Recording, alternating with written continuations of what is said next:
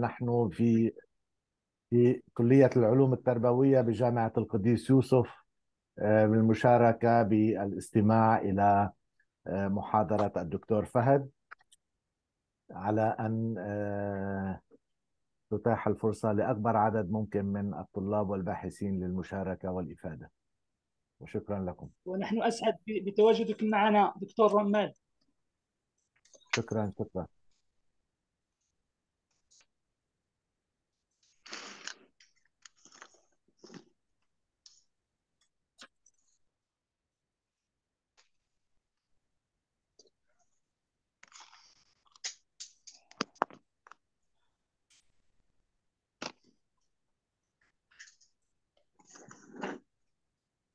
مرحبا أستاذ عبد الغني معروفي مرحبا دكتور فارس. مرحبا مرحبا مرحبا مرحبا بك. أهلا وسهلا. تحياتي وسلامي لجميع الضيوف المشاركين في هذه الندوه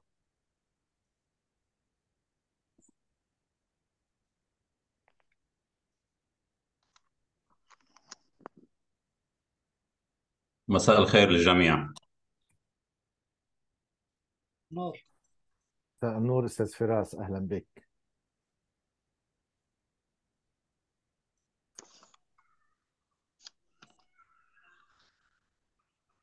وعليكم ورحمة الله وبركاته. السلام. مرحبا أستاذ سمير.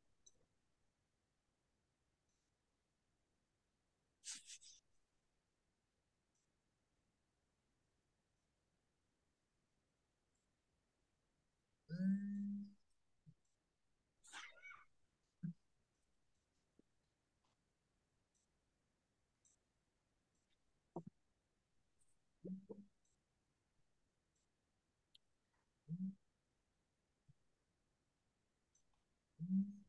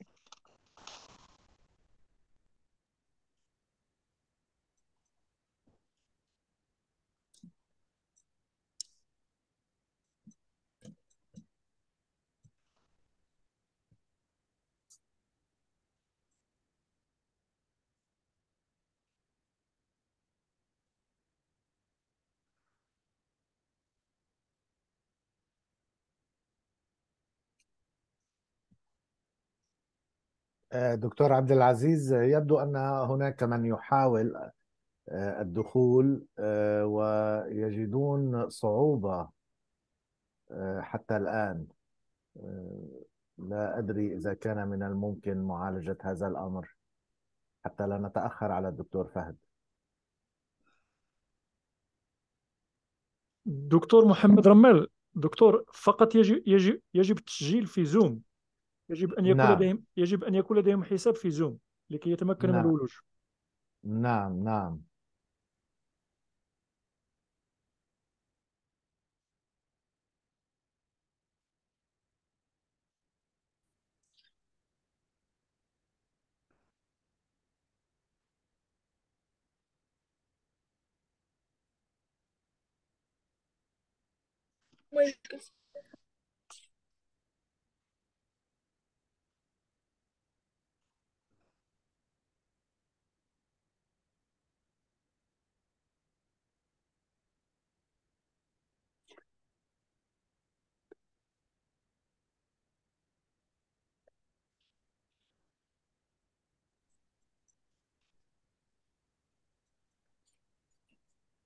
سي اي تي شو؟ اذا كان ممكن تقبل الإخوان هذوك اذا كان مشكل كي عندهم.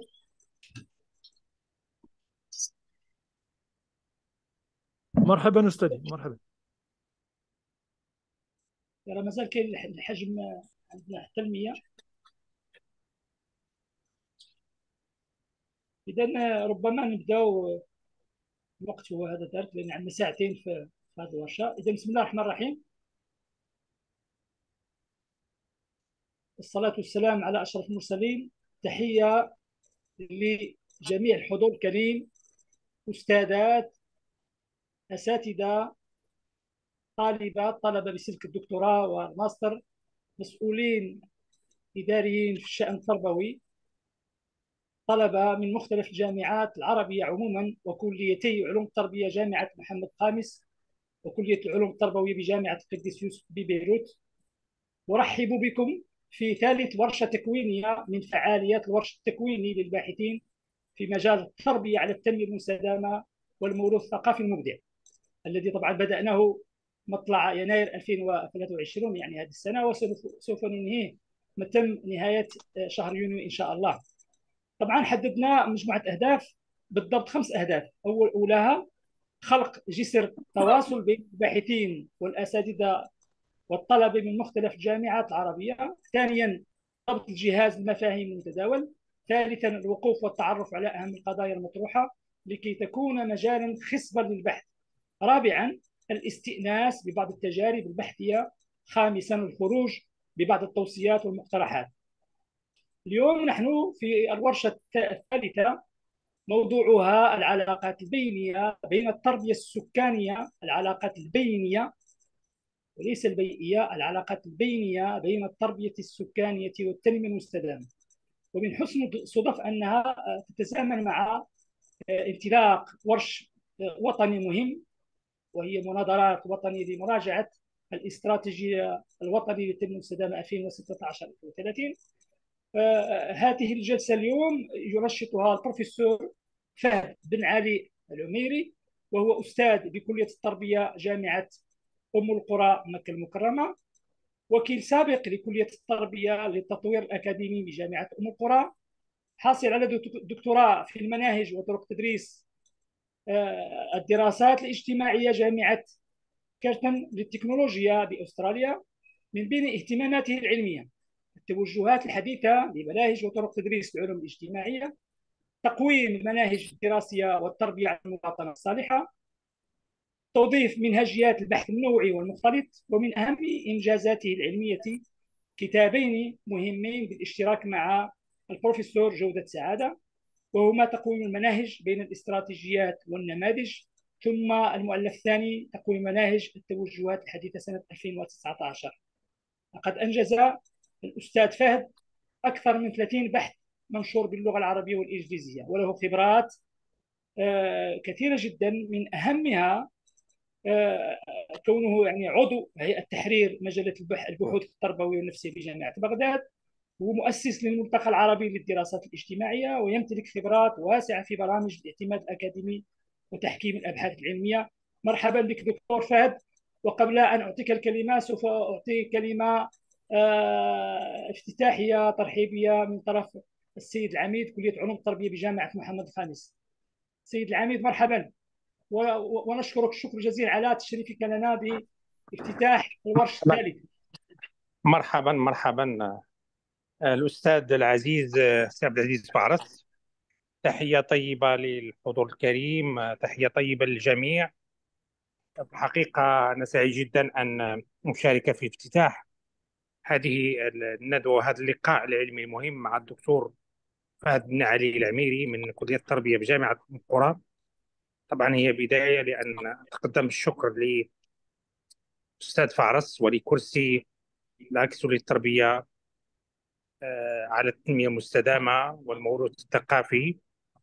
آه، أولا أشكره على كل المبادرات التي يقوم بها لفائدة هذا الكرسي الذي شهد يعني آه، منذ تقريبا سنة حاليا.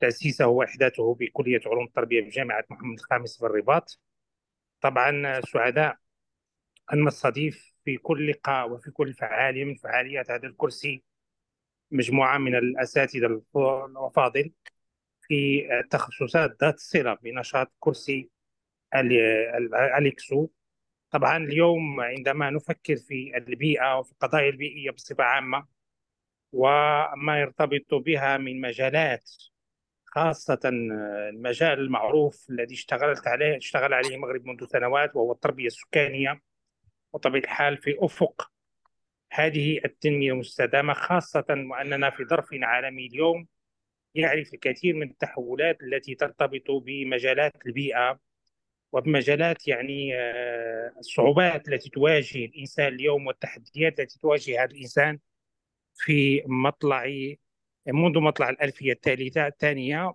مطلع الألفية الثالثة أكيد أنه ما وقع من تحولات أكيد أنه أرخى بظلاله على مجموع السكان المعمور حيث أشار الأمين العام للأمم المتحدة في اللقاء الأخير الذي كان حول تحويل أنظمة التربية وتحويل منظومة التعليم بصفة عامة والذي تم في شتنبر الماضي بالضبط 17 19 شتنبر أشار إلى ضرورة يعني أن نهيئ الإنسان لعالم جديد لتحديات جديدة ولقضايا جديدة خاصة منها التغيرات المناخية.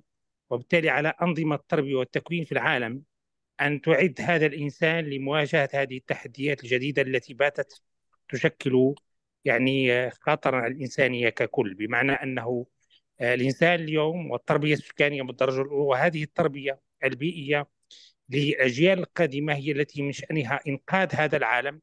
إنقاذه أكيد من الدمار والحفاظ على مستوى معين من العيش المناسب لهذه الأجيال التي أكيد أنه عليها أن أن تواجه الكثير من الصعوبات من أجل أن تعيش في في بيئة سليمة.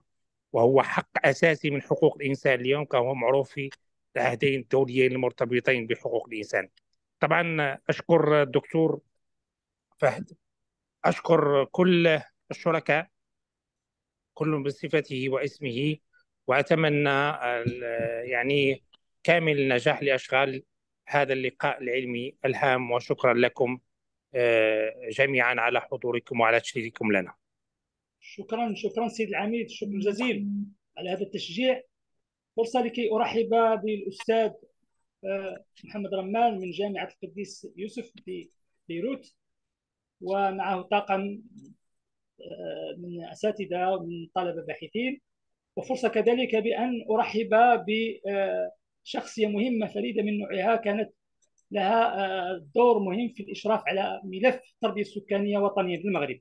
والدكتور آه، عبد الغني المعروفي وحضر معنا وسوف يواكبنا في طيلة يعني هذا ساعتين الزمن وسوف يكون حاضر معنا كذلك في النقاش إن شاء الله. هذه فرصة لكي يستفيد منها من هذه الجلسة طلبتنا من الباحثين غير ذلك. آه، لك الكلمة دكتور فهد. شكرا جزيلا. بسم الله الرحمن الرحيم. الحمد لله حمدا كثيرا طيبا مباركا فيه. بما يليق بجلال وجهه وعظيم سلطانه. والصلاة والسلام على معلم البشرية الخير نبي الهدى ونور الدجى محمد بن عبد الله وعلى آله الأطهار وصحبه الأخيار. اللهم علمنا ما ينفعنا وانفعنا بما علمتنا وزدنا يا ربنا علما نافعا وارزقنا به عملا صالحا. يا خير من سئل وأكرم من أعطى. سعادة عميد كلية علوم التربية في جامعة محمد الخامس في المغرب الشقيق.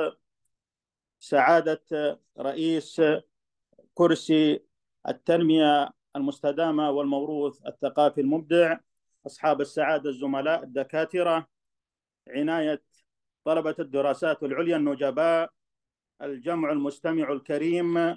السلام عليكم ورحمة الله تعالى وبركاته. وطاب مساؤكم جميعا بالخيرات والمسرات.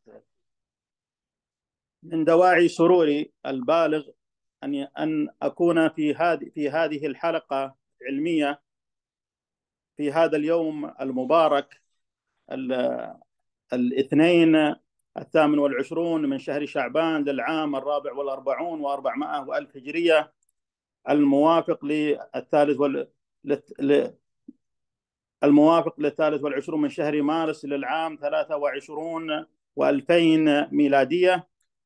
في هذا الموضوع الذي في الحقيقة أكرمني بثقته في أخي وزميلي سعادة الدكتور عبد العزيز فعرس وهذا من التعاون العلمي بين الزملاء والأشقاء في وطننا العربي الكبير المجيد.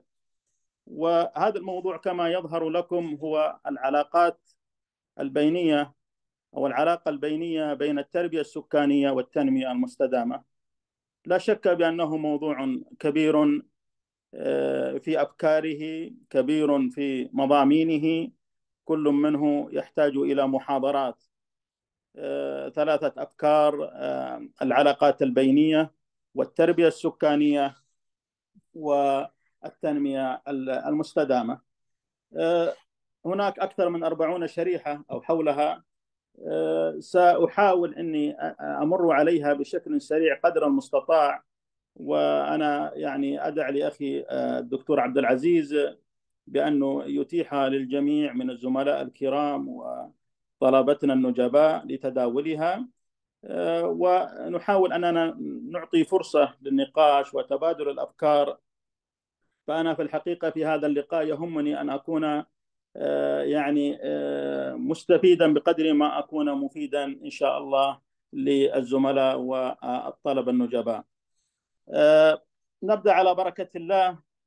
في الحقيقة مفهوم العلاقات البينية أو ما يسمى بالدراسات البينية هذا المفهوم إذا ما أردنا أننا بكلمات موجزة أن نقف على مكنونه فهو يمثل أحد النظم الدراسية التي يجتمع فيها الاهتمام المشترك والتفاعل بين تخصصين أو أكثر. وهذا في الحقيقة يعود إلى أن العلم كما نعلم هو في بداياته كان محدودا في اتساعه ثم توسع العلم ومع توسعه دعت الحاجة إلى التخصصية ثم مع عجلة التطور التاريخي أصبح في الحقيقة من الصعب أن تخصص معين يوفي بجميع متطلبات التخصص نفسه. وكما يقال العلم رحم بين أهله فظهرت هذه الفكرة التي تدعو إلى أن هناك يكون في اشتراك في الأفكار ما بين علم وأكثر بما يفيد العلم ذاته ويفيد العلوم الأخرى وبما يعالج كثير من الإشكاليات والقضايا المعاصرة وبما في نهاية المطاف ينعكس إيجابا في تقديم خدمات وتلبية حاجات وتحقيق طموحات للأفراد و المجتمعات البحث العلمي هنا في الحقيقة بدأ يركز على هذا الموضوع اللي هو العلاقات البينية وبدت هناك تصورات ورؤى وافتراضات تظهر في عملية إخراج يعني فلسفة لهذا العلم الوليد العلاقات البينية أو الدراسات البينية. في الحقيقة هو يعود إذا ما أردنا أن نتتبع الأصول يعود إلى نحو ما يقرب الآن من قرن من الزمن وتحديدا إلى العام 1937 ميلادية. على يد واحد من كبار علماء علم الاجتماع لويس كيرترز. وضع بعض الأفكار لكيفية أن يكون هناك تشارك فيما بين أكثر من المتخصصين في أكثر من علم وكل منهما يفيد الآخر على مستوى الأشخاص وكل منهما من خلال أفكاره ومهاراته وخبراته. يقدم ما لديه بما يفيد خدمة الموضوع البحثي أو القضية التي هم بصدد تناولها. وثم بعد ذلك بدأ في الحقيقة اهتمام من من العالم الغربي ولا سيما في الولايات المتحدة الأمريكية بهذا الموضوع العلاقات البينية والدراسات البينية وفي هناك جامعات في الحقيقة أخذت على عاتقها الاعتناء بهذا العلم الوليد كجامعة كولومبيا وجامعة شيكاغو وغيرها من الجامعات الأمريكية المعروفة. وظهر له هناك كثير من المفكرين والعلماء الذين اعتنوا به. وهنا بدأ يعني في الحقيقة توضع خارطة طريق لهذا العلم الوليد. نحن نعود الآن إلى نحو قبل قرن من الزمان. ثم بعد ذلك مع يعني عقود القرن العشرين المنصرم بدأ هذا التزايد في عملية الاعتناء بالعلاقات البينية. لا سيما وأنه وجد بأن يعني من جماليات هذا العلم الوليد بأن نتاجاته العلمية يستفاد منها يعني بشكل فوري وعاجل لأنها تعالج قضايا. وبدا في الحقيقة ليس فقط في العلوم الإنسانية حتى بدا في علوم يعني طبيعية وعلوم تطبيقية. ويعني أذكر إنه من منشورات شركة أرامكو السعودية الشركة النفطية العملاقة المعروفة إنه لما بدأت تنقب عن النفط في أراضي المملكة كان هناك تحتاج إلى أكثر من مختصين لأن النفط يوجد في المنطقة الشرقية من المملكة وفي صحاريها بعض الجنوبية. فكان يحتاج إلى أن يكون هناك الجغرافي والجيولوجي والفيزيائي. فعلى سبيل المثال صحراء الربع الخالي في أقصى الجنوب السعودي في البدايات كان لم يذكر بأنه يوجد فيها نفط. ثم لما دخلوا الفيزيائيين وجدوا إنه يوجد نفط ولكنه تحت أعماق سحيقة فهذا كان يمثل يعني كنموذج عربي ملموس ومدون بداية للعلاقات البينية والدراسات البينية بين أكثر من علم وفي منطقتنا العربية وأكيد إنه يوجد أمثلة لكن نحن نقول من واقع ما يحضرنا من تجربة في نطاق الوطن. هناك في الحقيقة يعني أشياء نقدر نقول بأنها هي تمثل أصول لهذا العلم الوليد العلاقات البينية. هو يعني يركز على تطوير المعرفة والعلوم وتلبية الاحتياجات سواء كانت للطلبة أو ايا كان من صاحب هذا الاحتياج.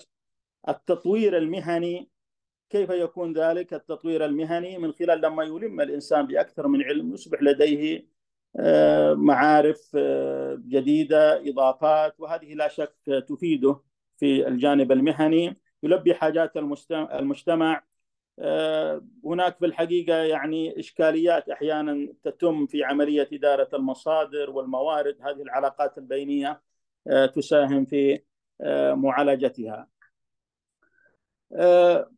أيضا يمكن لنا أننا نختصر أهداف العلاقات البينية في الحقيقة في أنها ذات قيمة بالغة لصانعي القرار ايا كان على مستوى قيادات على مستوى مدراء شركات قطاع عام قطاع خاص ايا كان تهمهم كثيرا. ولعل المثال الذي ذكرته قبل لحظات يعني يؤكد مثل هذا الأمر. هي دائما تدعو إلى زيادة التفاعل بين العلوم الطبيعية والعلوم الإنسانية ككل. لأن العلم أصبح مع التخصصية كأنه جزر معزولة. قريبة من بعضها البعض لكنها لا يمكن كل منها أن يصل إلى الآخر أو يفيد الآخر بالشكل المأمول. أرخبيل من الجزر بعيدة فكأنها هي أتت هذه العلاقات البينية لتمد الجسور بين جميع أصناف العلوم. أيضا التقسيم الشائع في الحقيقة ما بين علوم طبيعية وعلوم إنسانية وما صنف ثالثا بالعلوم التقنية والتطبيقات التقنية. يعني أصبح هناك في دعوات من كثير من المفكرين للنظر في هذا التقسيم وتقييم جدوى الاعتماد عليه والأخذ به.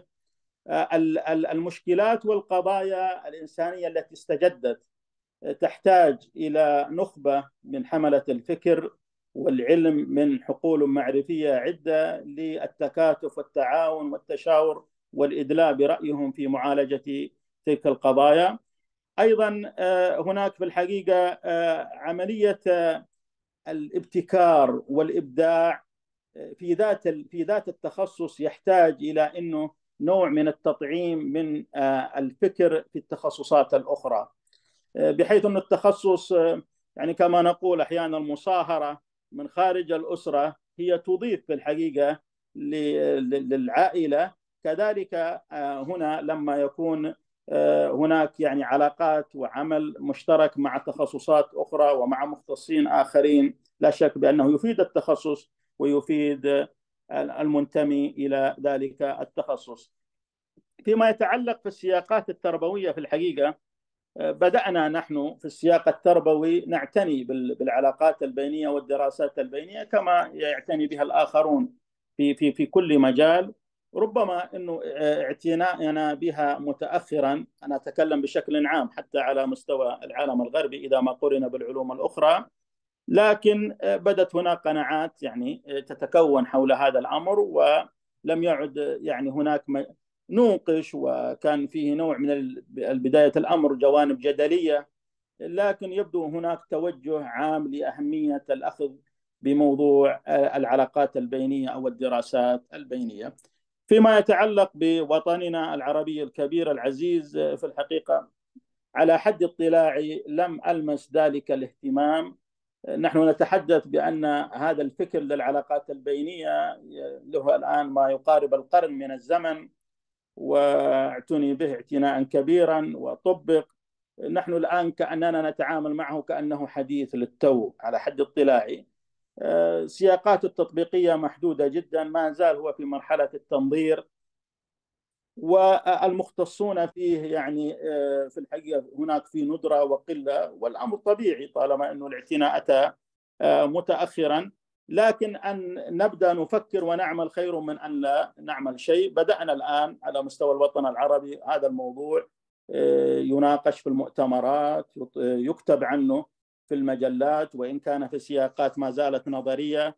بدأت النخبة العربية التربوية أنا في هذا بهذا الصدد تناقش مثل هذا الأمر ويعني تشير إلى كثير من إيجابياته. لما ننظر في الحقيقة إنه عملية هناك في منظور ثلاثي ذو أهداف ثلاثة يعني إجمالية بشكل عام في السياق التربوي إذا كنا قد تحدثنا في السياق عام الآن في السياق التربوي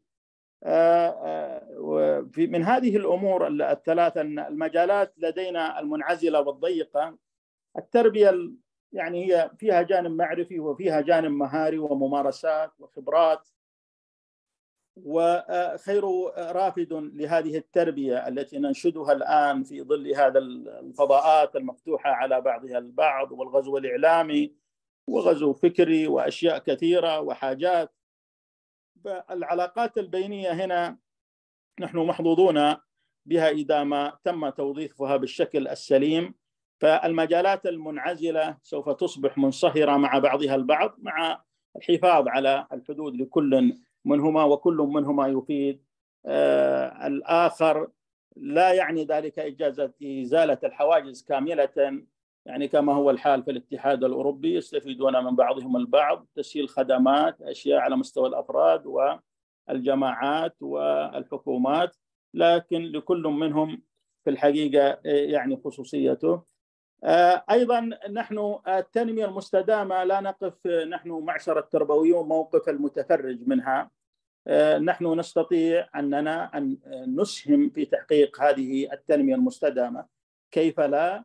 ونحن صناعة الأجيال هي مهنتنا وهو الشرف الذي دائما نفاخر به.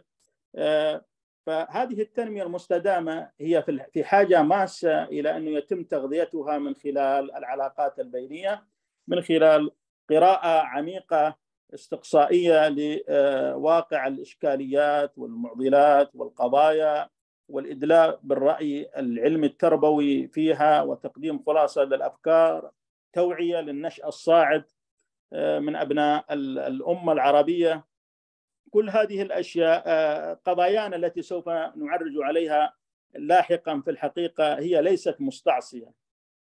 صحيح أنها من النوع الذي فيه نوع من التعقيد لكن ليست مستعصية إذا ما تم في الحقيقة تشخيصها بشكل سليم ومعالجتها أيضا بشكل مرحلي ومستمر.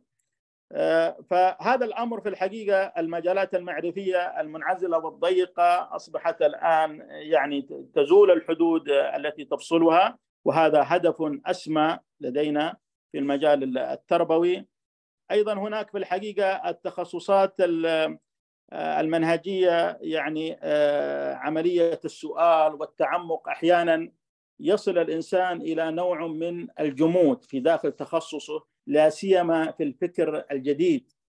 فكيف يمكن أن يتجاوز مثل هذه العقبات من خلال عملية الانفتاح على علوم أخرى فهي تغذي ما لديه؟ يعني أذكر أنه كان في كتاب تم ترجمته حتى إلى العربية هو باللغة الألمانية ترجمه أحد الأساتذة الكبار في المملكة لدينا. هو يتكلم عن حركة الرمال في صحاري المملكة فهو في الحقيقة ما استطاع إنه يعني يصل إلى تشخيص كثبان رملية تتحرك بسرعات ويعني لها علو جدا من الأمتار. فما وجد إنه من خلال علم الجغرافيا إنه ما يساعد على تشخيص هذه الحركة وقراءة سيرورتها وما ينتج عنها. فلجأ في الحي وأيضا علم الأرصاد وعلم الجمورفولوجيا والأشياء والجيولوجيا ما فادته كثيرا لكن وجد تفسير ذلك في علم الفيزياء. فساعدوا في أنه يفسر مثل هذه الحركة. اذا هذا في الحقيقة يعني كثير من التساؤلات التي أحيانا نصل إلى نوع من الإحباط في عدم القدرة على الإجابة عنها تستطيع من خلال العلاقات البينية فتح نوافذ ومد جسور مع العلوم الأخرى أنها ترفدنا بما يعيننا في الإجابة عنها. كذلك كهدف ثالث في الحقيقة يعني في في هذا الأمر إن نريد تجديد وإبداع فلا بد في حالة رغبتنا وهذا مطلب أكيد لما نريد أن نجدد وأن نبدع لابد أن ننفتح على العلوم الأخرى. كما نحن الآن الذي يريد أن يتطور وكذا لابد أن ننفتح على العالم. نعم يحافظ على خصوصيته الثقافية ولكنه لابد أن يكون منفتحا. الانغلاق دائما يقود إلى عملية يعني يسحب كما يقولون للوراء. فهنا العلاقات البينية هي في الحقيقة منفذ في غاية الأهمية لخلق أجواء مفعمة بالتجديد والإبداع. ولا سيما إذا ما تعلق الأمر بالتنمية المستدامة. هذه في عجالة لمحة موجزة عن المحور الأول اللي هو العلاقات البينية. فقط أردنا أن تكون إطلالة. ننتقل الآن إلى المحور الثاني وهو التربية السكانية. موضوع من التوجهات الحديثة والعالم جميعه يهتم بالسكان وهم وقود هذه الحياة البشر و الجميع يعتني بالسكان ولها نظريات ولها قوانين ولها أنظمة وكل يجتهد في عملية كيفية التعامل مع الظاهرة السكانية. هذا هذا التوجه التربية السكانية يعني عالم السكان الديموغرافيا بدأنا أيضا نهتم به في الجانب التربوي وظهر لدينا توجه التربية السكانية. ليس هو في الحديث نعم لكنه ليس بالجديد كثير من دول العالم بما فيها عدد يعني في الحقيقة لا بأس به من الأقطار العربية تعنى بموضوع التربية السكانية. على سبيل المثال بالحصر هي تدرس في بعض الأقطار العربية بحسب اطلاعي المحدود كالأردن وتونس وربما في بلاد المغرب العربي هناك أقطار تعنى بموضوع التربية السكانية وحتى الأقطار الأخرى تعنى بالتربية السكانية وإن كان لم تكتب التربية السكانية لكن بشكل أو بآخر يعني تقدم جانب تثقيفي جانب توعوي ببعض الخصائص والقضايا السكانية. التربية السكانية باختصار هي عملية تربوية شاملة تهدف إلى توعية يعني التوعية بالوضع السكاني السائد سواء على مستوى الوطن أو على مستوى المنطقة أو على مستوى العالم وتطوير ما يتعلق به من مفاهيم ومن مؤشرات ومن اتجاهات ومن مهارات و وهنا الأمر يعني يتعاظم قيمته إذا ما ربط ذلك بالتنمية المستدامة. وعملية التعامل السكان مع المصادر ومع الموارد ايا كانت هذه المصادر ولا سيما في الجانب البيئي. ذلك التعامل الإيجابي والمساهمه التربية السكانية في اتخاذ قرارات سياسية متعلقة بالسكان، نحن نرى العالم الآن العالم المتقدم يعني لديه توجهات أحيانا فيها نوع من التضارب خاصة فيما يتعلق بتحديد النسل أو كذا موضوعات الهجرة يعني أشياء كل منهم يجتهد فيما يراه مناسبا يحقق آماله وتطلعاته ويعني لا يلبثون بعد عقود من الزمن أنهم يعني يلومون أنفسهم على بعض على بعض القرارات. هناك الآن شعوب في العالم تتآكل سكانيا هي مهددة بالإفلاس السكاني. يعني على سبيل المثال الدول الإسكندنافية كالسويد وغيرها الآن عدد السكان يتناقص يتناقص. ولا يمكن التعويض نظرا لأنه الفئات العمرية متقدمة. يعني الهرم السكاني أصبح يعني الفئات العليا منه متقدمة في السن هي التي تسيطر على الحجم السكاني وبالتالي لجأوا إلى موضوع الهجرة والتجنيس وثقافات جديدة ودمجهم وتهيئتهم. وهذا بلا شك يعني يخلق إشكاليات. يعني وربما يساعد نوعا ما في حلول لبعض الإشكاليات لكنه يخلق إشكاليات جديدة ربما تمس يعني التكوين الجذري للشعب أو للأمة. فهذا الجانب في الحقيقة يعني من الاعتناء بمفهوم التربية السكانية هو الذي جعل هناك دعوات لعملية وضع مناهج لها وتدريسها. الأمم المتحدة كان لها في الحقيقة دعم يعني دعم إعلامي دعم منشورات كذا مساعدة لكن ليس بذلك المستوى ربما الأمر يعني لا نبرر لها إنه أكبر من يعني إمكاناتها لكن هناك يعني اعتناء اعتناء وقناعة لدى الهيئات الدولية ومن ضمنها صندوق الأمم المتحدة للسكان بموضوع التربية السكانية وبدات تحفز وتشجع كثير من الدول لعملية وضع مناهج للتربية السكانية وتدريسها. نختصر أهداف التربية السكانية في الحقيقة في تمكين المتعلمين من اكتساب المعارف والمهارات والاتجاهات للظواهر السكانية ويعني الوعي بانعكاسها هذه الظواهر على حياة الفرد والمجتمع أيضا الإسهام في تحديد النظام التربوي وتطويره وتنمية الوعي السكان وعي السكان لابد أن يكون لديهم خاصه فيما يتعلق بالمصادر والموارد. إظهار التأثير المتبادل بين النمو السكاني ومظاهر الحياة المتنوعة. تكوين مواقف ملتزمة تجاه بعض القضايا السكانية لدى أفراد المجتمعات. تفسير وتحليل الواقع السكاني. نحن الآن واقعنا السكاني. في الحقيقة نجهل أشياء كثيرة فيه.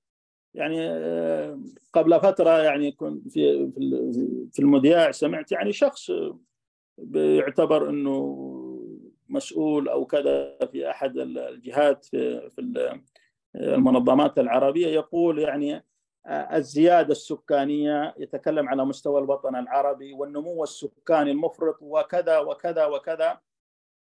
هو يعني هم الوطن العربي يتكاثرون سكانيا لكن في الحقيقة نموهم يتناقص. وهناك في فرق بين التكاثر السكاني والنمو السكاني.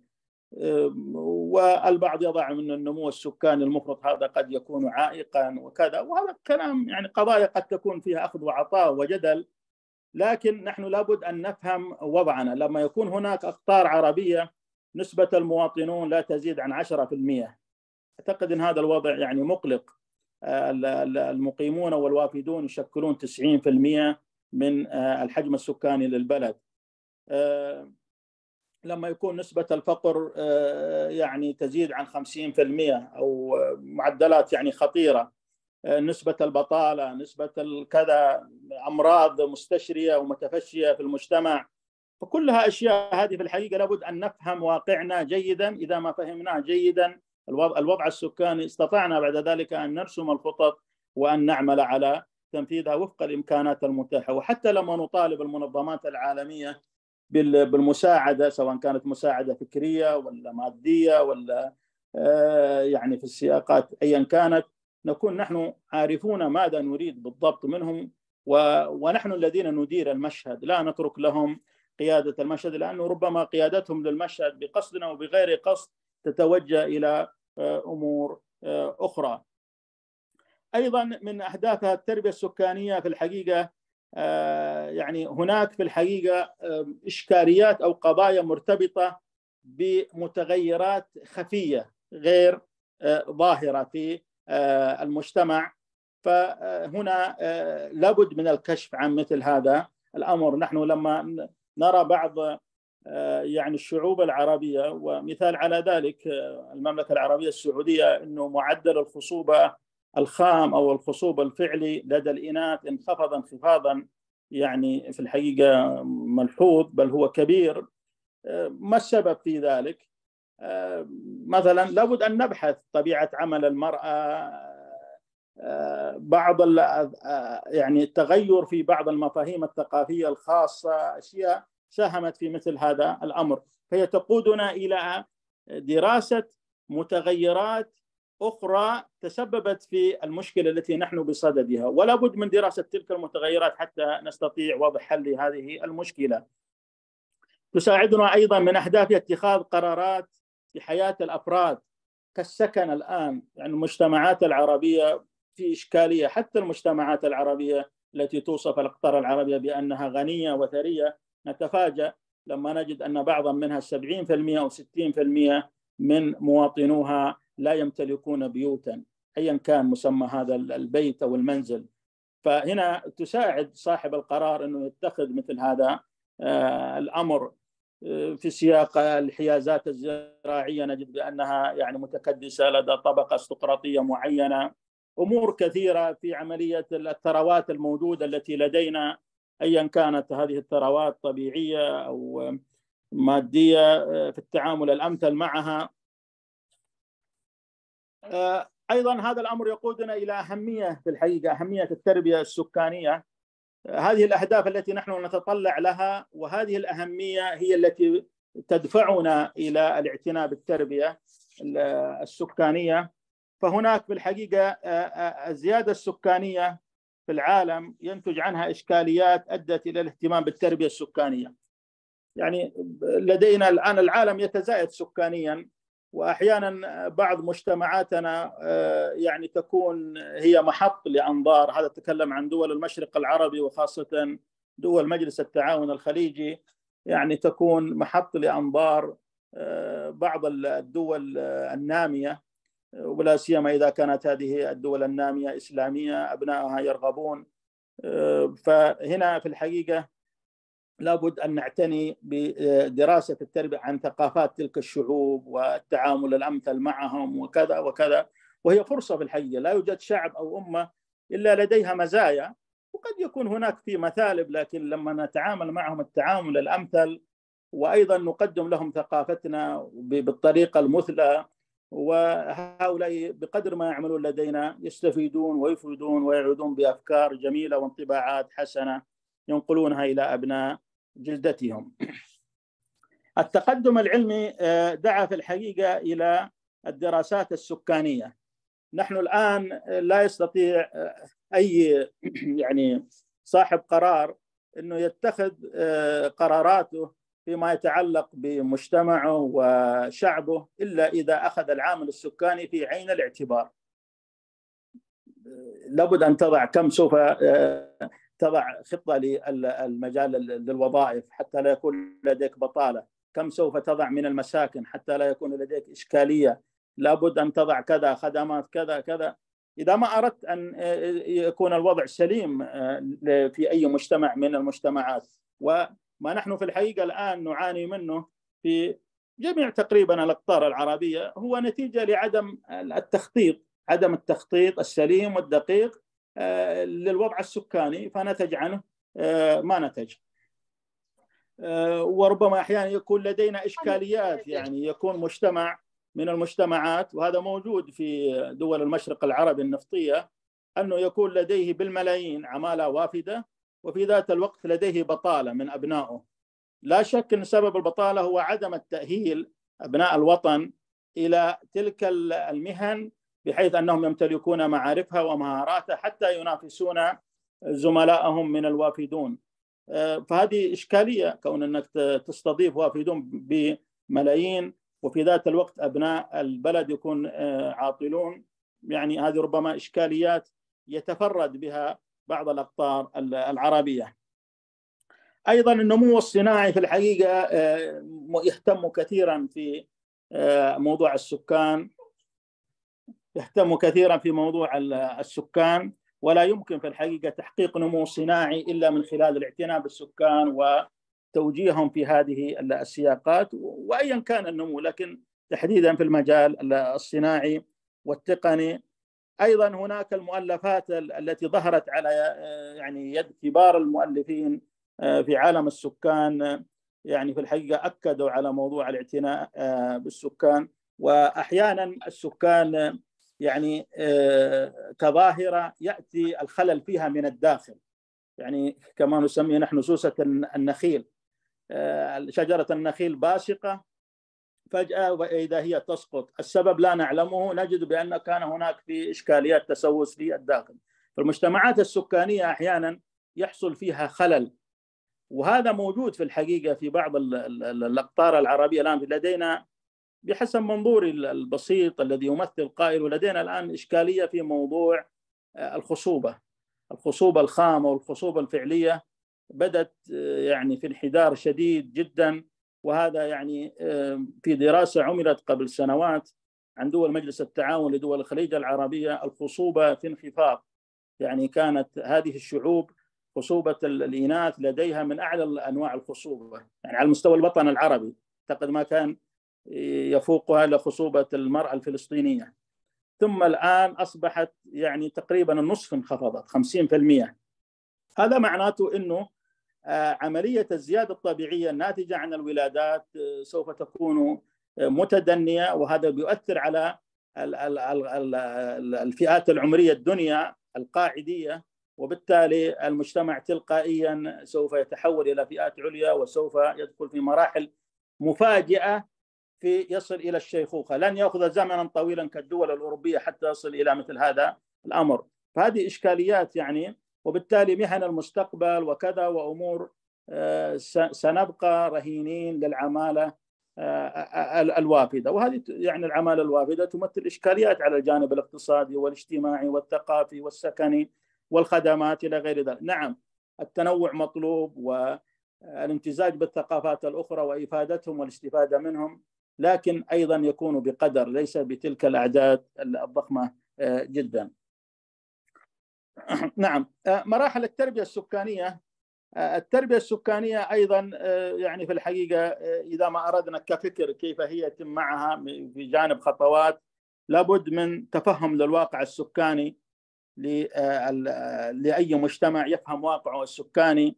لابد أنه الفهم هذا يكون مبني على تقويم حقيقي بعيد بعيد كل البعد عن يعني الرغبات والأشياء. يعني نجد بأن التعداد السكاني في كثير من الأقطار العربية في بداياته كانت فيه أخطاء فادحة في الحقيقة. فلا ولذلك تم التعامل مع السكان مثلا بأنهم 10 مليون في بلد ما وإذا هم 4 أو 5 مليون. أو العكس كيف تضع تنمية؟ كيف تؤمن وظائف؟ كيف تؤمن سكن؟ فايضا نفس التفاصيل في داخل ليس فقط الحجم وإنما خصائصهم وكذا وتركيب وتركيبهم العمري وتوزيعهم النوعي حسب الجنس ذكور وإناث وحسب الجنسيات وكذا وكذا. هنا لابد هذه مرحلة يتم تقويمها. بدقة إلى أن نصل إلى انه هذا التعداد يتم الاستغناء عنه. يصبح لدينا بورصة مثل الآن هذه الدول في العالم الأول يعني الآن نتكلم في في سياق إيجابياتهم. ألمانيا شعبها يزيد عن 80 مليون. لديهم نظام إلكتروني دقيق بورصة. كل يوم من الذي كم الذين توفوا كم الذين ولدوا كم الذين أصبحوا في الفئة العمر العمرية كذا. أمر دقيق جدا. نحن نطمح في الأقطار العربية إلى أن نصل مثل هذا الأمر. أما التعدادات هذه التي يدورون على المنازل ربما الشخص يحسب بأكثر من مرة وهذا حتى لو كان الخطأ بنسبة 1 أو 2% في التعداد لا شك بأنه سوف يؤثر. لأنه في تقديري إنه الأخطاء في التعداد السكاني هي مثل الأخطاء الطبية. شيء بسيط ربما يؤدي إلى إشكالية عميقة. أيضا مرحلة اتخاذ القرارات لمعالجة تلك القضايا أو تلبية الطموحات. يعني نحن أحيانا يعني نلحظ إنه تغيير شخص وكذا وكذا لحل مشكلة معينة، المشكلة هذه الوضع السكاني لم يدرس ولم يؤخذ في الاعتبار فلا يمكن إنك أنت تؤمن وظائف أو تؤمن سكن أو توفر خدمات تعليمية طبية. ايا كان تلك الحاجة التي تريد أن توفرها إذا أنت لم تضع في الاعتبار عملية دراسة مستفيضة عميقة للوضع السكاني. أيضا هناك في في الحقيقة أوضاع أحيانا تكون طارئة لدينا، نحن الآن يعني ما زلنا حتى نعمل في عملية تنميتنا على الأمية ونتعامل مع الأمية بمفهومها التقليدي، ذلك الشخص الذي لا يقرأ ولا يكتب.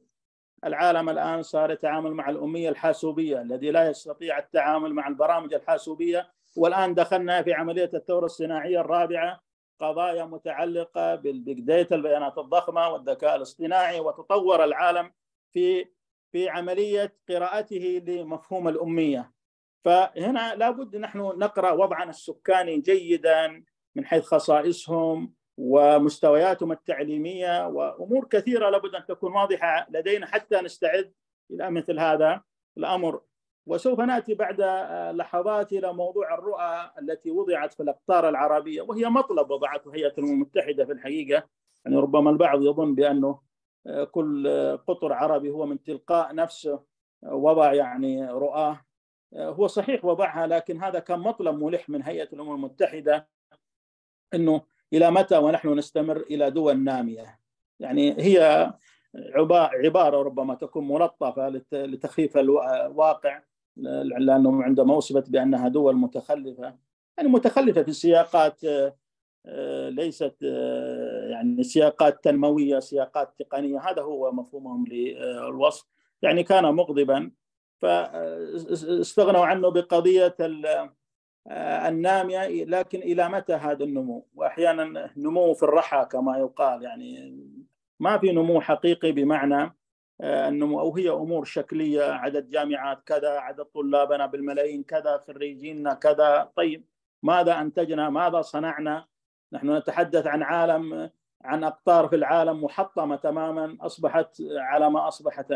قبل عدة أربع وخمس سنوات أقيم معرض في مدينة جدة السعودية للصناعات الفيتنامية، فيتنام هذه الدولة التي تعرضت إلى حرب أمريكية شرسة ويعني أحرقت الأخضر واليابس فيها كما يقال.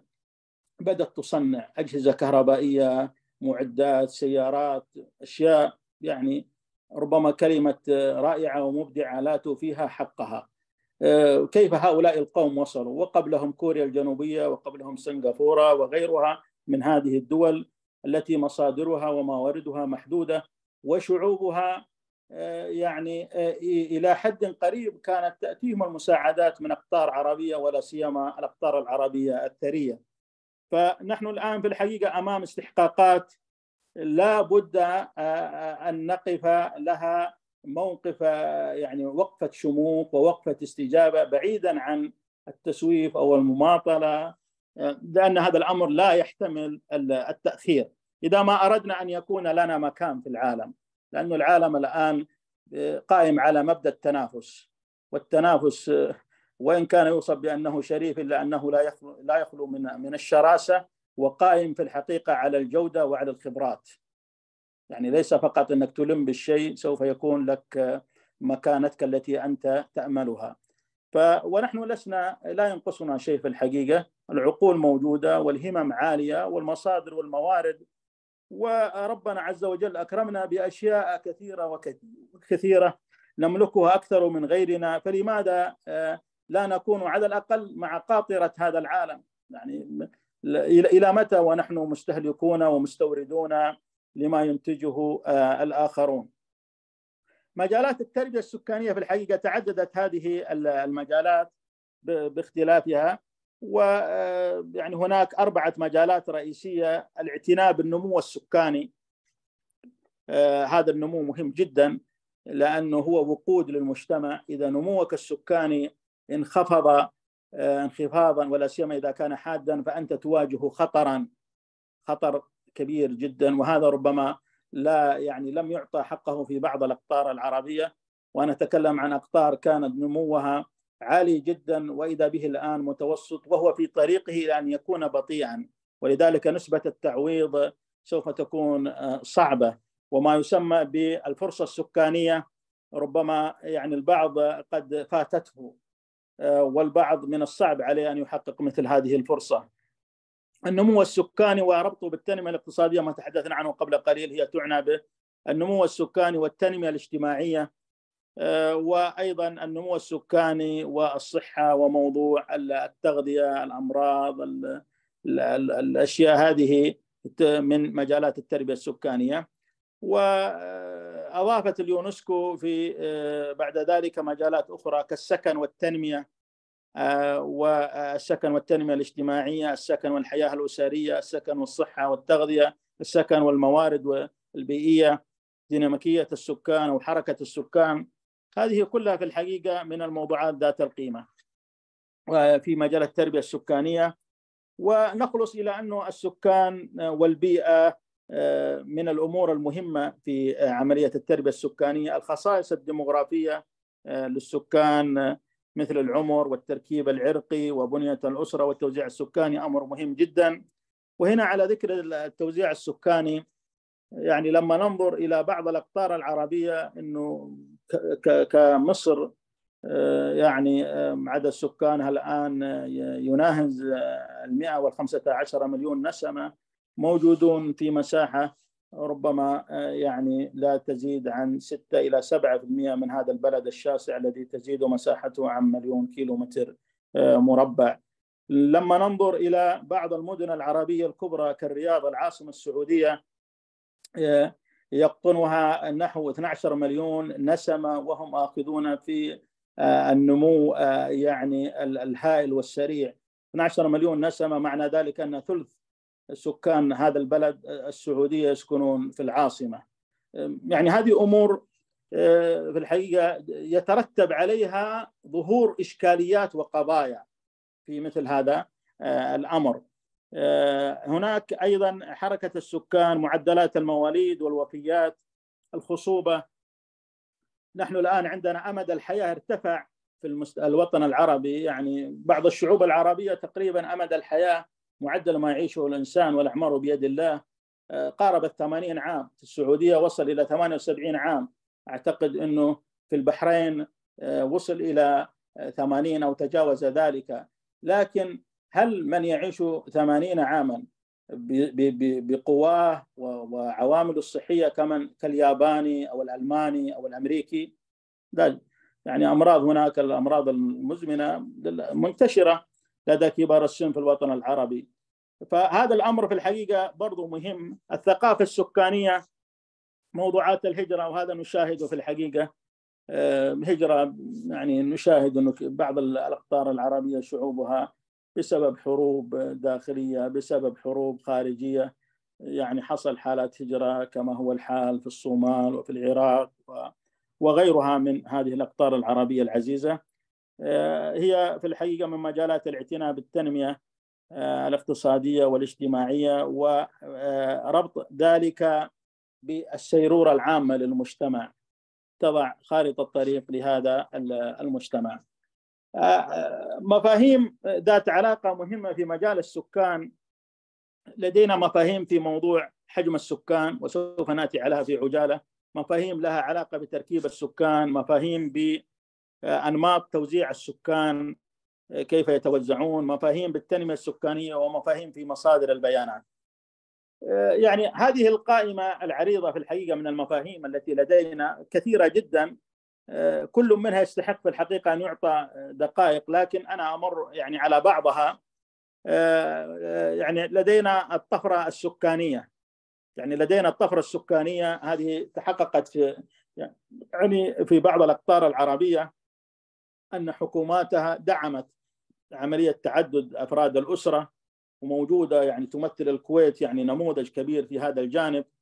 والإمارات يعني اقطار الخليج بشكل عام وخاصة يعني الكويت والإمارات وقطر في هذا الجانب فهنا مفهوم الطفرة السكانية وخلق يعني قاعدة عريضة من الجيل الصاعد هذا مهم في الحقيقة في كثير من الأقطار العربية إن لم يكن مهما في جميعها. النمو الصفري يعني انعدام النمو للسكان يعني يكون عدد الوفيات مساوي لعدد المواليد. وهناك في بعض الأقطار العربية بدأ هذا الأمر يعني يلوح في الأفق. صحيح لن يتحقق الآن لكن لا نريد أن نصل إلى ما وصلت له الدول الإسكندنافية. يعني البحرين الآن النمو السكاني فيها بطيء جدا على حد اطلاعي. هناك الهجرات السكانية ولها أسبابها عرجنا عليها. لدينا موضوع في الحقيقة التركيب العمري للسكان. ويعني هو التركيب العمري. يعني النموذج المثالي أنه يكون 50% من السكان ذكور و50% إناث. هذا نموذج صعب في الحقيقة يعني أنه يتحقق. لكن إذا كان الفارق إلى 10% لا بأس في ذلك. يعني 60% ذكور 40% إناث أو العكس 60% إناث 40% ذكور الفارق تحت السيطرة. لكن إذا زاد أي منهما عن الآخر تبدأ في الحقيقة في إشكاليات. يعني على سبيل المثال من الأمور التي تستحق دراستها إنه التوزيع النوعي الذكور والإناث في السعودية كان لصالح الذكور ثم أصبح نسبة يعني متوازنة 50% ثم بدأ الآن الفارق لصالح الإناث. تقريبا الآن نتكلم عن 52% إناث 48% ذكور. هذا يترتب عليه أشياء كثيرة يعني هو ليست القضية توزيع لكن يترتب عليه أمور لابد أن نستعد لها لهذا التغير. هذا الأمر يعني لا يلقى الاعتناء في تقديري الذي يستحقه. التركيب الديني أحيانا سواء كان اختلاف الأديان أو اختلاف المذاهب هذا أمر مهم لتحقيق يعني العدالة المجتمعية بين أفراد الجميع مواطنون فهذه الأمور لابد أنها تكون محصورة و يعني ويتم التعامل معها بمهنيه وموضوعية وحيادية تامة. أيضا التركيب المهني لابد أن يكون موضوع للسكان. الحرم السكاني وما أدراك ما الحرم السكاني؟ يعني لدينا الآن فجوات خطيرة جدا في الحرم السكاني في كثير من الأقطار العربية. يعني لما نصل إلى الحرم السكاني في دول الخليج العربي نجد أنه في القوى العاملة هذا الحرم السكاني في حالة من الانبعاج. السبب هو العمالة الوافدة. فهذا الأمر يسبب إشكاليات في الحقيقة ويسبب ضغط أحيانا على نوع من الخدمات وأمور كثيرة آه، ولا سيما الخدمات الصحية والتعليمية وكذا والسكنية. فهذا الأمر لابد أن يكون في في الاعتبار. آه، النافذة الديموغرافيه التي أشرت لها قبل مدة آه، هي يعني فرصة للمجتمع وهذه موجودة. الشعوب العربية توصف بشكل عام بأنها شعوب شابة. يعني على سبيل المثال للحصر آه، الشعب الجزائري 80% آه، آه، تقريبا نسبة الشباب أو ما يقاربها يعني من السبعين إلى 80% الشعب السعودي في تقريبا لا يقل عن 70% وكذلك الشعب العراقي وغيرها يعني لا يوجد أقل من تقريبا من 50% الشباب هم الذين يدورون يعني دفة الأمور فلا بد أن نستفيد من هذه الطاقات التي لدينا في عملية بناء المستقبل و آه، يعني الدخول في كثير من المشاريع التنموية وهنا التنمية المستدامة حاضرة معنا في هذا السياق. آه، آه، أيضا عندنا في الحقيقة نعم توزيع السكان وهذا أحيانا يحتاج إلى عملية قراءة له واعاده توطين السكان بشكل يعني فيه تراضي ليست هجرات إجبارية لكن لما يكون السكان متكدسون في مساحة 4 5% من البلد وفي العاصمة السياسية لذلك البلد أو في مدينة معينة هذا لا شك أنه معنى ذلك أن المناطق الأخرى أو الولايات أو أطراف البلد لن يكون فيها تنمية حقيقية على يد أبناء البلد. فهذا أمر يعني يحتاج في الحقيقة إلى إعادة توزيعه بخطط. وهنا التنمية المستدامة تكون حاضرة معنا في هذا الأمر حتى يكون لأن هذه تلك المناطق أصبحت مهمشة وطاردة وهم يتوجهون إلى المدن الكبرى بحثا عن الوظائف بحثا عن التعليم الخدمات الصحية كل أنماط الرفاهية التي ينشدونها. تضاعف السكان هو في الحقيقة هذا المفهوم أو ما يسمى تضخيما له الانفجار السكاني وكذا فيه نظريات كما نعلم وكذا لكن لو لو نظرنا عالميا إنه التجربة الصينية هي في الحقيقة آه، في تقديري الخاص أنها أسكتت كل من يعترض على موضوع آه، إنه الحجم السكاني الضخم هو عائق لتحقيق التنمية المستدامة. آه، عظمة الصين الآن وقوتها الاقتصادية يعني وتقدمها هو أحد بل هو أهم سبب فيه هو ذلك الرصيد السكاني الضخم لدى الصين. لولا هذا الرصيد السكاني الضخم وهذا ما كان ذلك الكم الكبير من المنتجات والصناعات ولما كان هذا الحجم الاقتصادي المهول ولما حققت هذه التنافسية وهذه المكانة العالمية. قوتها في المقام الأول هي آتية من الجانب الاقتصادي وأكبر داعم له هو الرافد آه، السكاني، لكن يبقى هناك يعني آراء آه، تقول بأنه ربما الزيادة السكانية المفرطة لها بعض الإشكاليات. نعم لها إشكاليات إذا ما تم التعامل معها بتخطيط آه، يعني آه، مناسب وفي حينه. آه، الزخم السكاني يكون هناك فئات سكانية تمثل مثلا قضية الموهوبين من من المجتمع لديك من الشعب. هؤلاء لابد يتم حصرهم والتعرف عليهم وسوف والاعتناء بهم وبتعليمهم. هؤلاء سوف يكونون هم المفكرين والعلماء والمنظرين وهم الذين يرفعون من شأن هذا البلد. حركة تنقل السكان من الأمور المهمة كيف يتنقل السكان يتنقلون حسب وظائف يتنقلون حسب الفرص الوظيفية وظروف مناخية. هذه لابد. التركز السكاني بعضهم يتركزون بشكل عام. يعني لما ننظر للمملكة العربية السعودية ثلثين آه، سكانها يعيشون في منطقتين إداريتين. منطقة مكة المكرمة يعني اللي هو تقريبا الحجاز الأوسط آه، فيه الثلث. ومنطقة الرياض الإدارية الرياض فيها الثلث. طيب بقية هذا البلد الكبير الذي مساحته تزيد عن 2 مليون كيلو متر مربع لا يعيش فيها إلا الثلث. هذا الأمر يعني ربما يكون أحيانا فيه إشكالية كما عرجت على ذلك في تحقيق التنمية المستدامة المنشودة. التعايش السكاني والتبعثر السكاني يعني أحيانا لما يكون السكان متفرقين في مناطق هذا يؤثر على عملية إيصال الخدمات. الندرة السكانية هذا ربما ما هو موجود عندنا في الوطن العربي بشكل ملحوظ لكنه موجود في بعض المجتمعات. ونخشى انه نصل إلى مثل هذا الأمر. الخلل السكاني آه، مناطق جذب السكان لابد أن تكون متنوعة لأن خطط التنمية المستدامة والرؤى إنه خلق فرص في كل مناطق المملكة، نتكلم عن الرؤى اللي طلعت على موجز لها سواء كان في السعودية أو في دول الخليج الأخرى، خلق فرص وظيفية واقتصادية واعدة في كل ولاية أو في كل منطقة في آه، ذلك البلد. هناك في مناطق طرد للسكان التي مثلا بسبب وجود آه، زلازل براكين بسبب وجود مخاطر طبيعية أو ايا كان تلك المخاطر كيف نحن نتعامل مع مثل هذا الجانب؟ الافتقار السكاني. عموما أشياء كثيرة جدا في الحقيقة آه، الانتقال السكان إلى التحضر إلى المدن على حساب هجرة الريف والبادية. هذه بدأت تورق كثيرا المجتمعات آه، العربية. يعني معظم دول الخليج نستطيع أن نقول لا يقل عن 80% من شعوبها يسكنون في المدن. معنى الريف الذي يقدم لنا الغذاء والريف الذي يقدم لنا آه، يعني عملية توطين للسكان وكذا معناته إنه في تدهور في رصيده السكاني.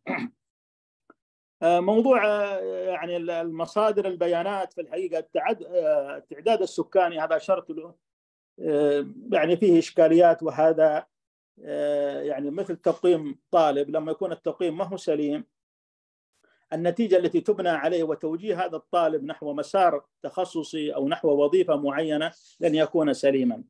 فالتعداد السكاني فيه ما زال يعتمد على الطرق التقليدية وكذا وعملية الرصد الآلي وعملية كذا هذه الأمور نحتاج إلى نتعاون آه، يعني مع دول ومع شركات ومؤسسات وعالمية كيف هي تتعامل مع مثل هذا الأمر المساحات السكانية كل هذه من تلك لكن هذا الأمر ربما يتحقق في الحقيقة مع موضوع اللي هو موضوع الحكومات الإلكترونية يعني حالات الربط الآن. وهذه مشاهدة في كثير من الأقطار العربية. يعني نتكلم من واقع يعني معرفتي البسيطة إن الحكومة الإلكترونية في كثير من أقطار الخليج العربي بدأت تساعد في عملية التعداد السكاني بإعطاء إحصاءات دقيقة جدا. خاصة للأشخاص الذين توفوا أو الذين فقدوا أو الذين خرجوا من البلد أو شيء من هذا القبيل. آه، بعد ذلك عندنا المؤشرات السكانية.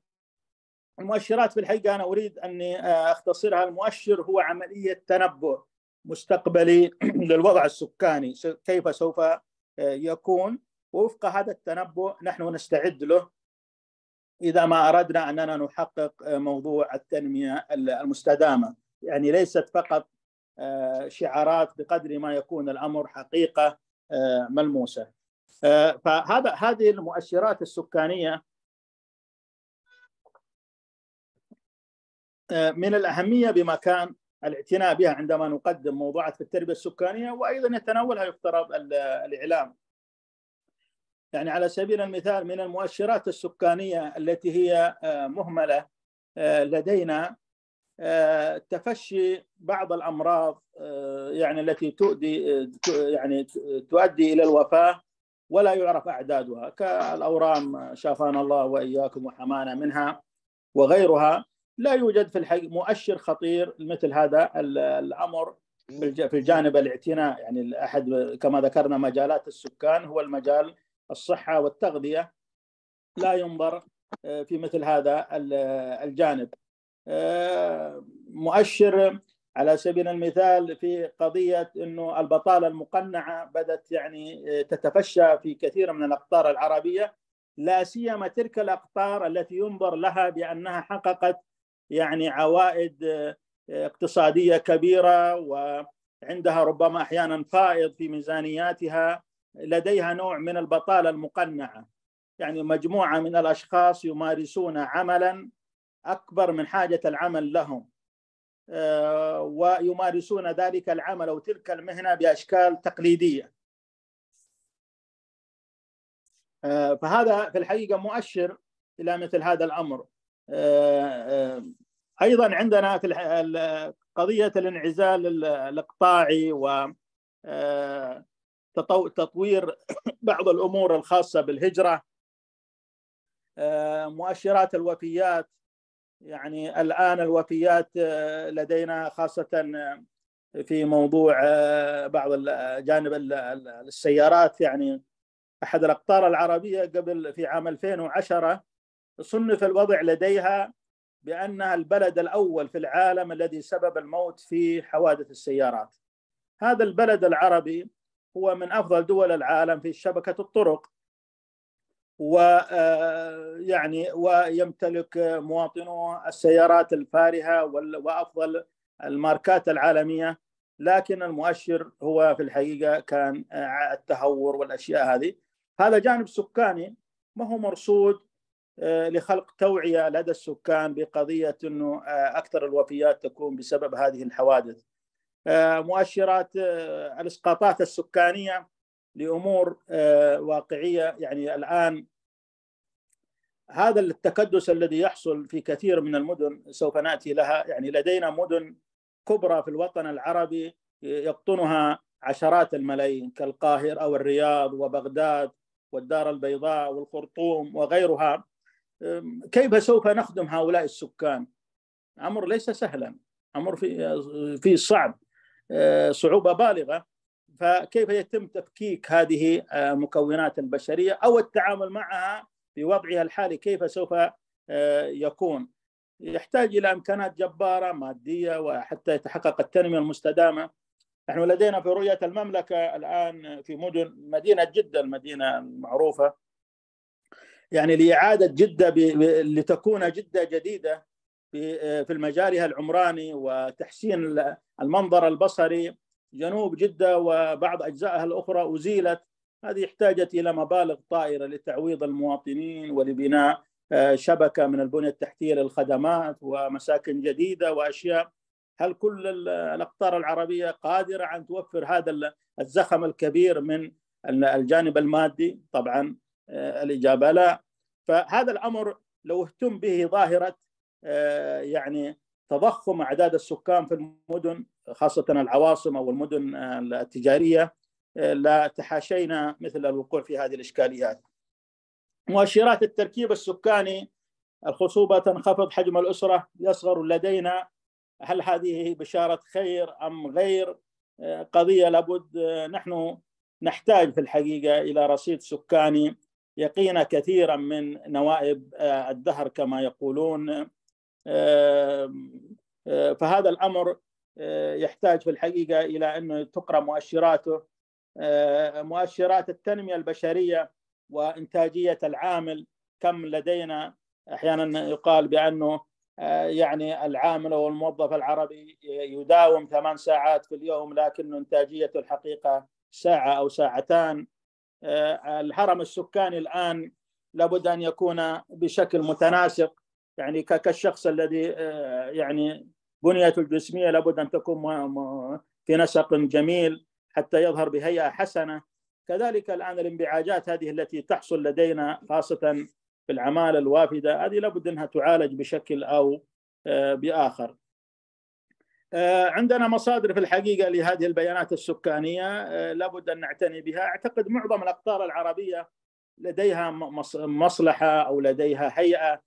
للسكان أو للاحصاءات العامة ومن ضمن اهتماماتها الاعتناء بموضوع السكان لكن مساهمتها وإنتاجيتها يبدو لي ما هي في ذلك الطموح الذي ننشده. أنا أتكلم عن بعض تلك الجهات والمنظمات في بعض الأقطار على حد اطلاعي.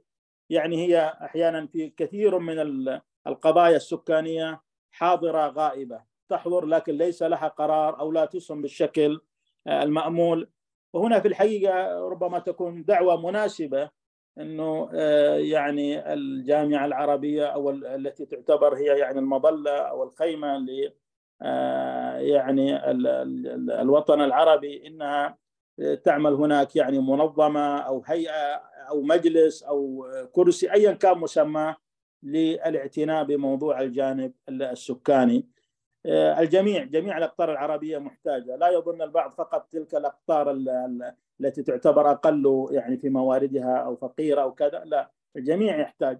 كل لديه مشاكل مرهقة وربما فقط تختلف في نوعها عن شقيقه الآخر.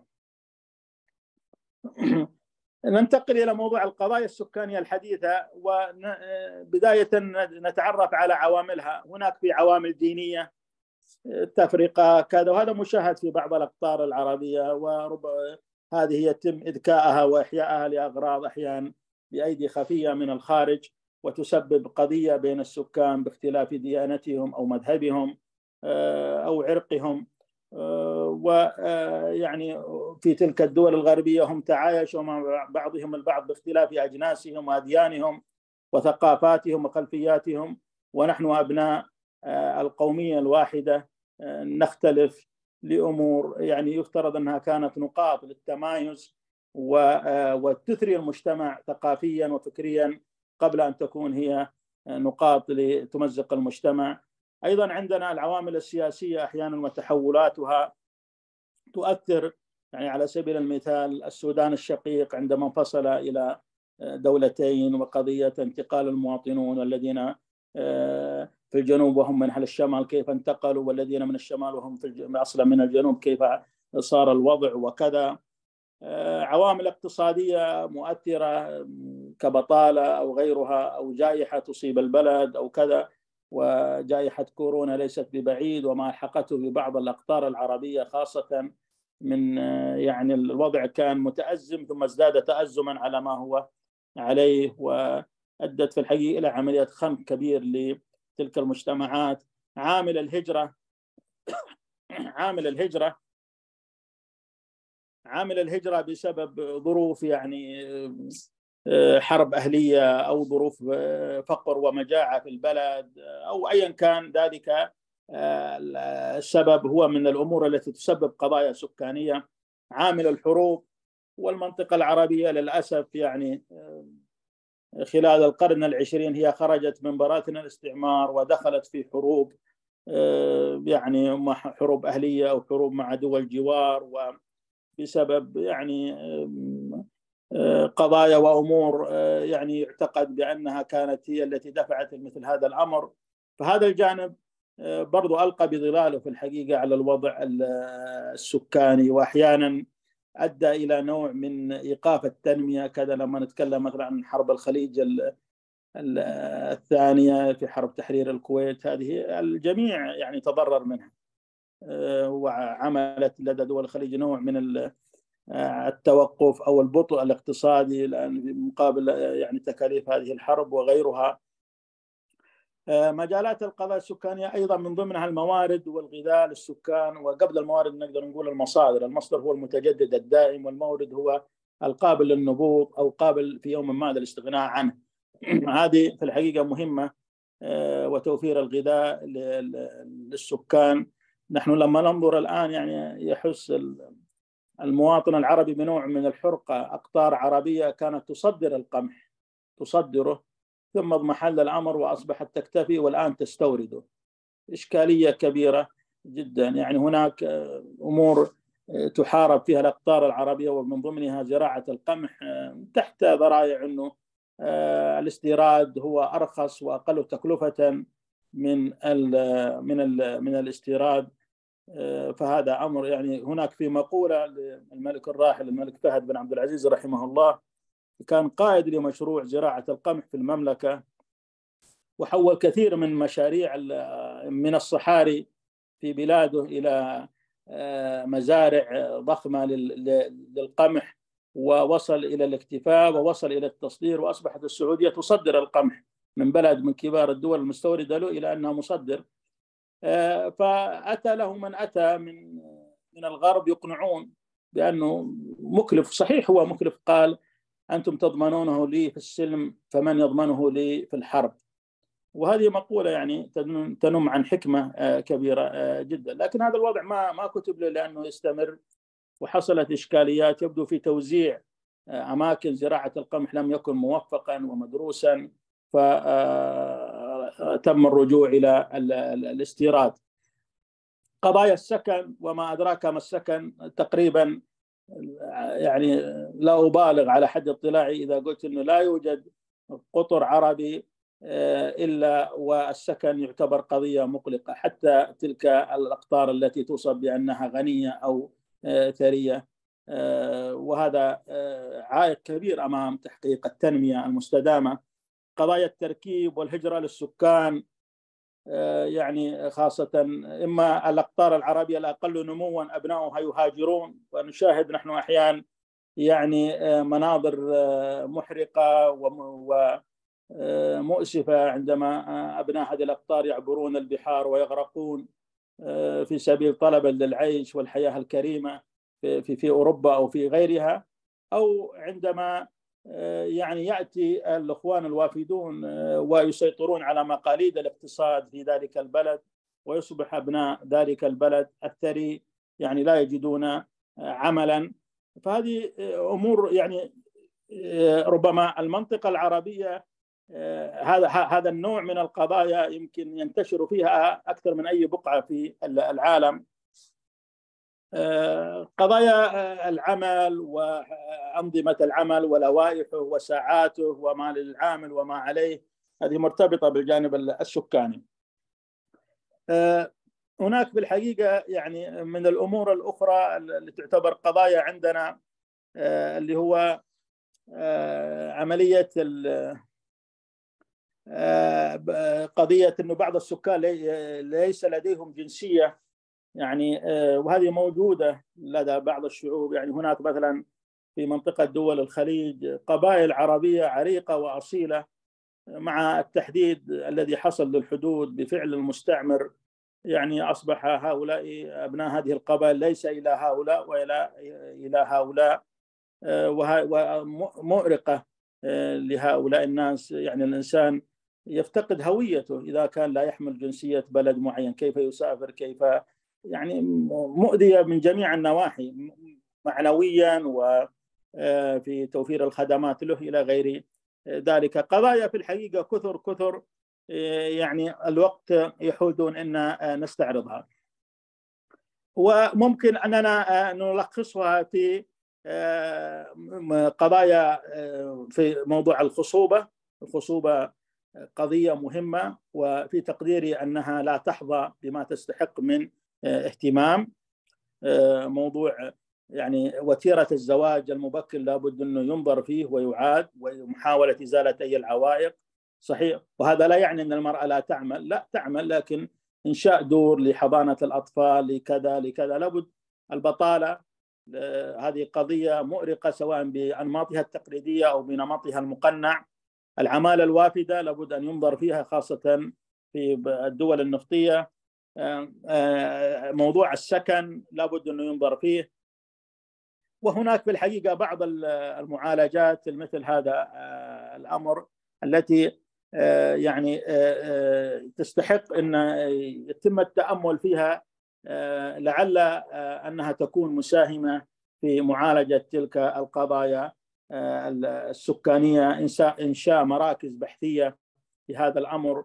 ويوكل أمرها إلى أصحاب الفكر والتخصص وانشاء شراكات مع مؤسسات دولية لمعالجة مثل هذه الأشياء، الاستفادة من تجارب الشعوب والأمم المتقدمة.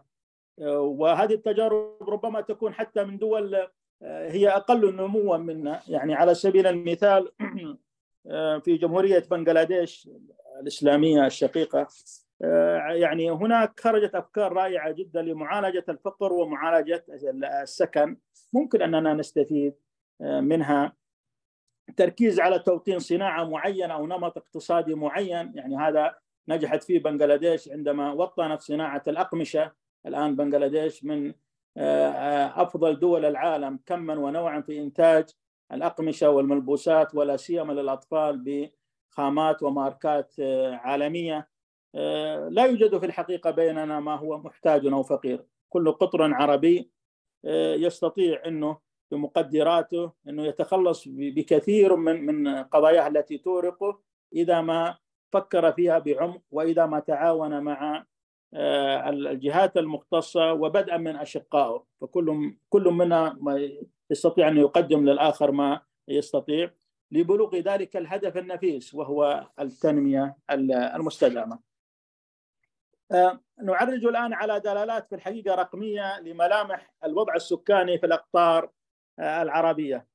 نحن تعدادنا يعني الآن شارف على النصف مليار.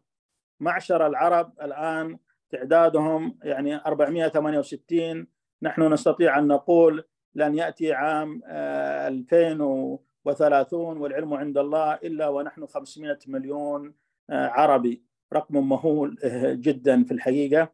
وهو لا يدعو إلى التشاؤم أو إلى الخوف بقدر ما يدعو إلى التفاؤل. هذا الرقم إذا تم التعامل معه لا شك بأنه هو أكبر ما يعول عليه بعد الله في تحقيق التنمية المستدامة. ولعل في يعني ما أشرت له في موضوع التنمية في الصين ما يدعم مثل هذا الأمر. لدينا نحن وهذا في الحقيقة الحجم السكاني العربي سوف يصل إلى تقريبا ضعفه في 2050 سوف كما سوف يمر معنا بعد قليل في بعض الأحجام السكانية للأقطار العربية. أيضا لدينا في الحقيقة الخصوبة هذه تحدثنا عنها كثيرا وهي تستحق الاهتمام. لكن الإشكالية يعني نحن الآن حالات الوفيات من الرضع تم خفضها بنسبة كبيرة ولله الحمد بتعاون.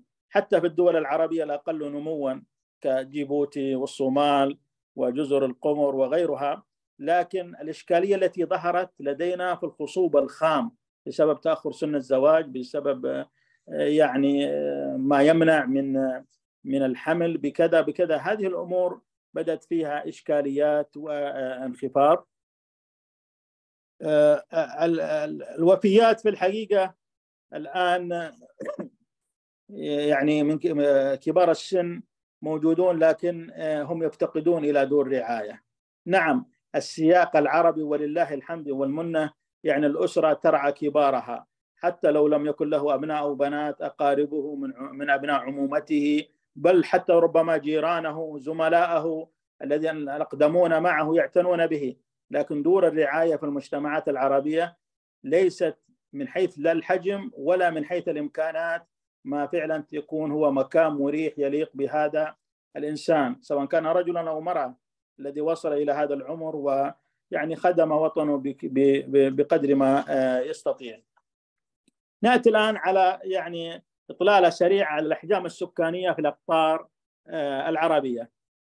في الحقيقة يعني هناك نحن ذكرنا بأن التعداد الآن 400 من 465 إلى 468 مليون نسمة هذا لو إن هذا العدد المهول الحجم السكاني الشريحة التي بعده من فضلك يا أستاذ محمد آه هذا العدد المهول لو نحن آه يعني آه تم تسخيره في موضوع التنمية المستدامة. لكان ذلك يعني إن شاء الله بارقة أمل لنا في أننا نأخذ مكانا الذي نستحقه بين مصاف دول واقطار العالم. هذه تقول بأن مصر الآن سكانها 111 مليون السعودية في قمة الهرم تليها السودان ب 46 مليون الجزائر 44 أو 45 مليون. العراق تقريبا 45 مليون والمغرب 38 مليون السعودية 37 مليون وهكذا يعني إلى أن نصل إلى الأقطار الصغيرة كما هو الحال في جزر القمر يعني قرابة المليون أو شيء من هذا القبيل.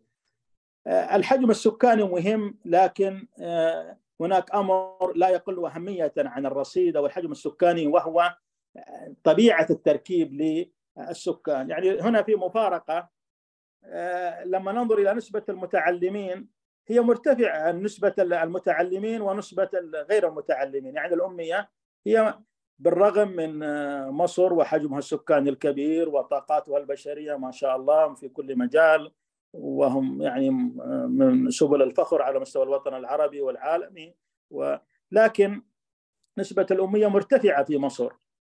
يعني لا تقل في الإحصاءات ما بين 20 إلى 30% طيب ما هو أكثر الشعب عربي متعلم؟ هو من أقل هذه الشعوب من حيث الرصيد السكاني وهو الشعب البحريني.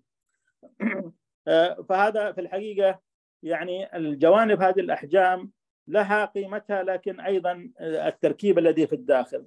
لما ننظر إلى الصورة المستقبلية نحن نتحدث عن يعني آه، بعد 27 عاما من الآن في منتصف القرن الحادي والعشرون 2050 كما أسلفت عدد العرب سوف يصل إلى 700 مليون وتقريبا آه، يعني هذه الدول الآن بترتيبها آه، سوف تحافظ على مراكزها. مصر سوف يصبح عدد سكانها 160 مليون السودان 85 مليون العراق 75 مليون الجزائر 60 مليون. في بلد عربي يعني آتي من الصفوف الخلفية سوف يصبح يعني بحجم سكاني كبير وهو اليمن 55 مليون. وهكذا والسعودية 48 مليون والمغرب 45 مليون. أحجام كبيرة في الحقيقة. يعني أقل بلد عرب أقل البلاد العربية البحرين وجيبوتي وجزر القمر يعني تتراوح ما بين المليون إلى المليونين. آه، فهذه هذا الرصيد السكاني نعتبره بارقة أمل إن شاء الله. بالرغم من أنه الخصوبة في انخفاض بالرغم من النمو السكاني في انخفاض إلا أنه هذا الرصيد يعني في ظل المعدلات العالمية هو الأفضل هو الأفضل وهذا إن شاء الله إذا ما تم توظيفه سوف يكون رافدا للتنمية المستدامة. آه، في الحقيقة هناك آه، يعني آثار للنمو السكاني في موضوع التنمية المستدامة في الجانب الاستهلاكي في في في سوق العمل. آه، يعني آه، كم مليون نحن العرب الآن من خمسة إلى سبعة مليون سنويا يزيد عددنا سنويا. آه، كم نحتاج إلى كم فرصة عمل نحتاجها في كل عام؟ هل هي تتناسب مع هذه الزيادات؟ هذا أمر يعني يجيب عليه المختصون في التخطيط في الجوانب الاقتصادية. الادخار والاستثمار ثقافة الادخار والاستثمار آه، وحسن الاستهلاك وترشيد الاستهلاك لدى المواطنون العرب تحتاج إلى مراجعة. يعني هناك أقطار عربية تستورد كميات مهولة من الأغذية لا سيما من القمح والأرز وغيرها بما يعادل لو كان عدد سكان ذلك البلد 100 مليون. بينما السكان لذلك البلد في الحقيقة ثلث هذا العدد لكنهم استهلاكهم 100 مليون بسبب عدم ترشيد آه، الاستهلاك. آه، هناك أيضا المدن وهذه في الحقيقة ذكرتها قبل لكن هذه المدن الكبرى لابد من معالجات لها يعني أصبح حتى ليس على مستوى الوطن العربي عالميا آه، وهي لا أعلم إذا كانت مزية ولا سلبية. لما يكون عندنا القاهرة أكثر من 20 مليون الرياض 12 مليون بغداد 11 مليون الدار البيضاء 8 مليون الخرطوم 7 مليون. هذه المدن يعني تحت فيها تعقيدات كبيرة لابد من مراجعتها. ننتقل للمحور الثالث والأخير اللي هو التنمية المكانية آه، التنمية السكانية المستدامة. يعني لن أخوض في موضوع آه، مفهومها فهو واضح للجميع آه، بقدر ما نريد أننا نركز على الأهداف العالمية للتنمية المستدامة التي وضعت من منظمات عالمية وأعتقد هيئة الأمم المتحدة أشرفت على وضعها. هناك 17 هدفا عالميا. آه، آه، وضعتها اللي هو القضاء على الفقر. إذا كان إذا آه، كان ممكن أعتذر دكتور فهد إذا كان ممكن أن تختصر هذا المحور لأن لكي لكي لكي نفتح المجال للنقاش. بقيت فقط نعم أعطيني خمس دقائق إن شاء الله. أنا أتيت إلى إلى قرابة النهاية. مرحبا. خمس دقائق. فهنا الأهداف العالمية 17 من مكافحة الفقر و آه، يعني القضاء على الجوع و التعليم الجيد والمساواة بين الجنسين. وإن كان المساواة هذه نحن كمسلمون فيها نظر العدالة مطلوبة لكن المساواة يصعب تحقيقها في جميع الأحوال بين الجنسين. موضوع نقل المياه والطاقة يعني من القضايا المهم للسكان موضوع المياه. يعني حتى هناك كتابات وتنظيرات إنه لو كان هناك حرب عالمية ثالثة فإنها سوف تكون بسبب المياه ومنطقة الشرق الأوسط التي هي معظم منطقتنا العربية تكونها آه، سوف آه، تكون في قلب هذا الحدث. آه، موضوع في الحقيقة هناك هجرة العقول يعني موضوع العمل اللائق الصناعة والابتكار. هذه الأهداف يعني السبعة عشر المعلومة للجميع في التنمية المستدامة. إن لم يكن جميعها فعلى أقل تقدير معظمها تتبناه التربية السكانية.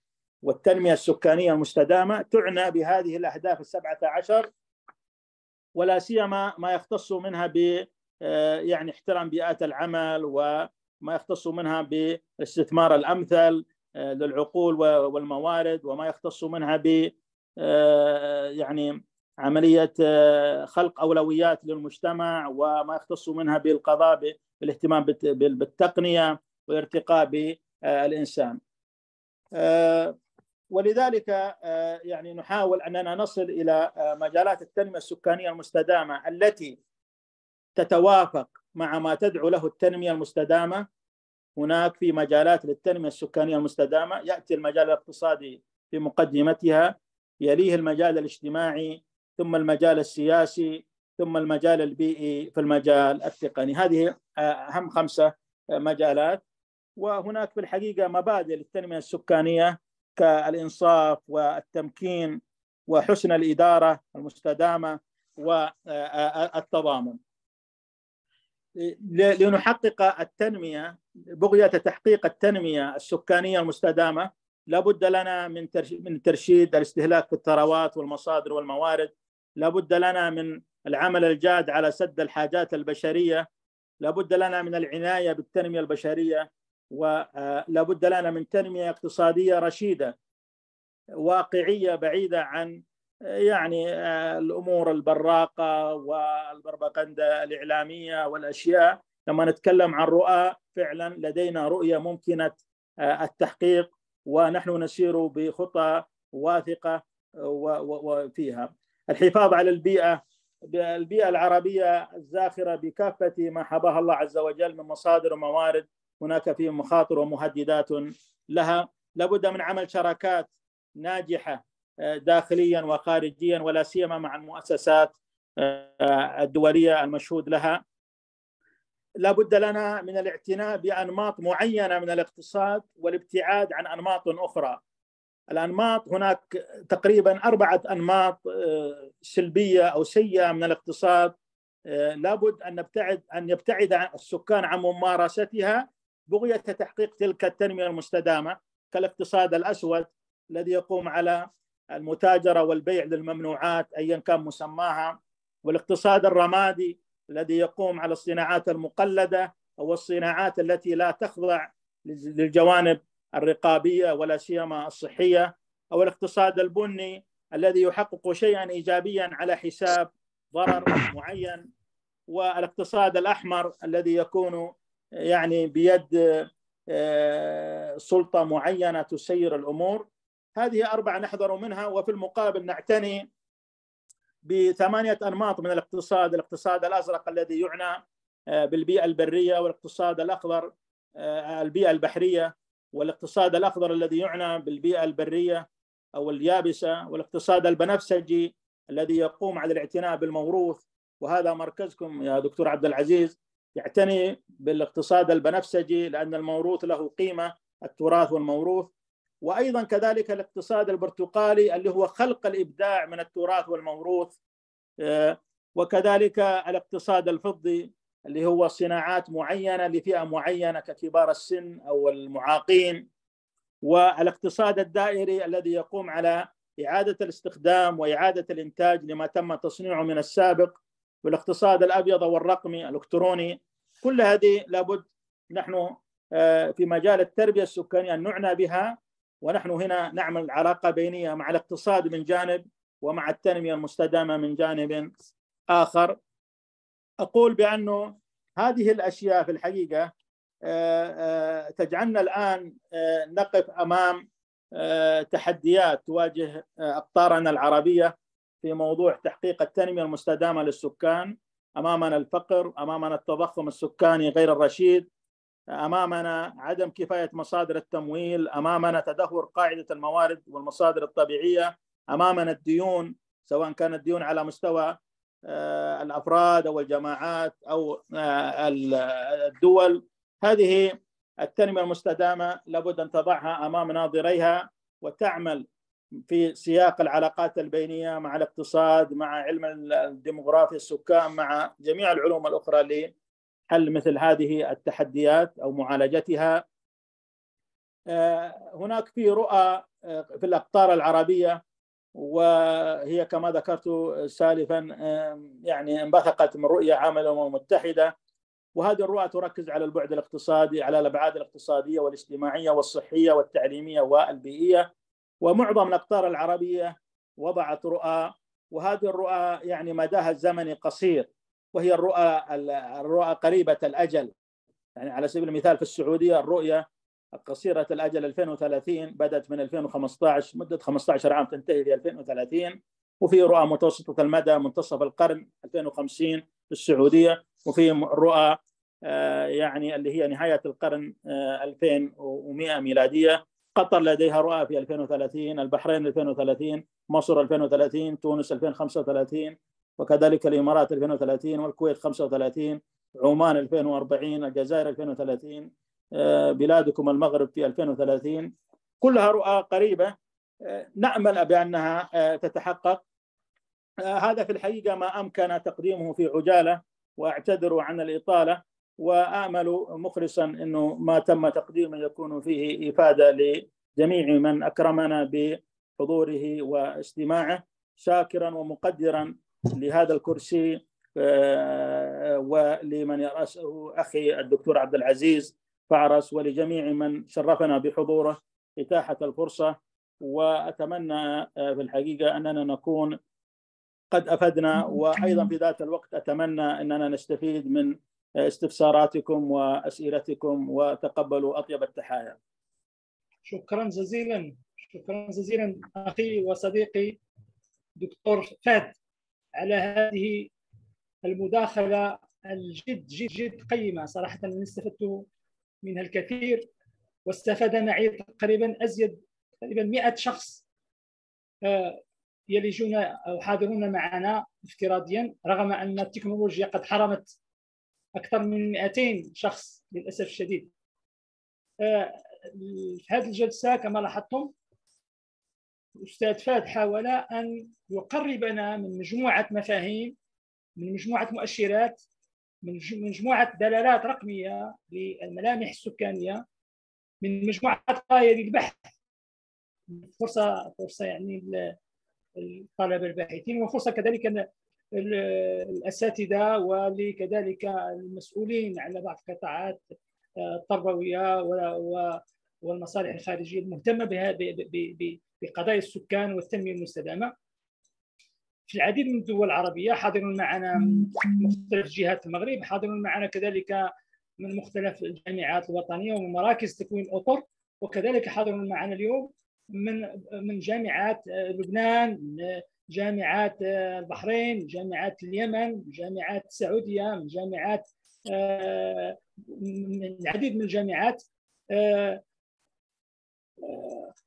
ربما ربما سوف نفتح بقيت فقط تقريبا أقل من نصف نصف ساعة لكي نفتح النقاش تساؤلات استفهامات فرصة لكي نستفيد كذلك من من من حضور الاستاذ معروفي عبد الغني معروفي وهو من أول الناس المهتمين والمؤطرين والذين آه، اشتغلوا على ملف التربية السكانية في وطن المغرب. طبعا من أحضان آه، وزارة التربية الوطنية.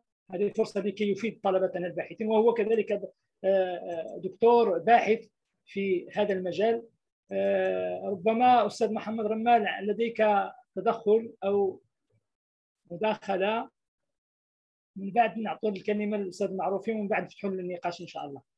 شكرا دكتور عبد العزيز يعني لابد لي إلا أن أشكرك اولا على هذه الجهود وعلى هذه الشراكة الناجحة بينكم وبين كلية العلوم التربوية بجامعة القديس يوسف التي نأمل أن تستمر وإن شاء الله آه، في إلى مزيد من آه، الورش الناجحة كمثل هذه الورشة.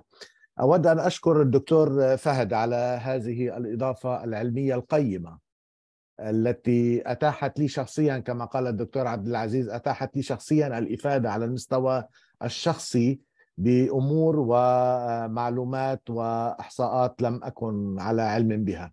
شكرا لك دكتور فهد باسمي وباسم طلاب كلية العلوم التربوية بجامعة القديس يوسف واسمح لي أن أتوجه إليك بسؤالين لو سمحت لو تكرمت بالإجابة عليهما. السؤال الأول هل تقترح أن تكون التربية السكانية في مقرر خاص أم مدمجة في المناهج؟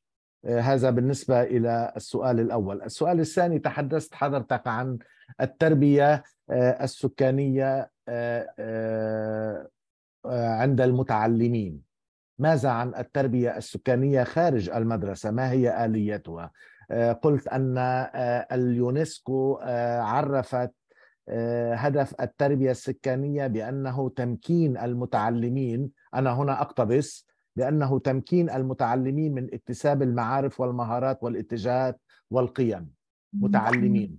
فماذا عن الذين هم خارج النظام التعليمي؟ وشكرا لك. إذا إذا سمحت دكتور فهد نفتح نستمع ربما لجميع مداخلات. وربما من الأحسن تكون الجواب يكون الجواب تركيبي ضمانا لتدبير الزمن إن شاء الله. ممكن؟ دكتور فهد. نعم تفضل تفضل. كما تشاء يا دكتور عبد العزيز. دكتورة دكتورة فادية. تطلب الكلمة نعم دكتورة. مرحبا دكتورة. دكتورة فادية كامل. مساء الخير. مساء النور. مساء الخير للجميع. آه طبعا نشكر الدكتور فهد على هذه المعلومات القيمة التي قدمها والتي فعلا كما قال الدكتور محمد رمال أستاذي في الجامعة اليسوعية والصديق أنه أفادتنا فعلا كثيرا بالمعلومات وخاصة العلاقات بين التربية السكانية والتنمية المستدامة. سؤالي يتعلق صراحة في سأعود إلى العنوان وحول مصطلح العلاقات البينية. أه بالحقيقة أنا أصابني فضول عندما أه وجه لي الدعوة الدكتور محمد رمال لأعرف ما ما ما معنى هذا المفهوم لأنه جديد علي. فاتضح عند الشرح بأنه الانترديسبلينري أه وقد ورد هذا المصطلح في مناهج البكالوريا الدولية منهج السنوات الابتدائية وبالترجمة ورد على اعتبار تحت مسمى المنهج المتجاوز للمواد. فماذا عن هذا المصطلح؟ يعني العلاقات البينية. أصل هذا المصطلح من أين ورد؟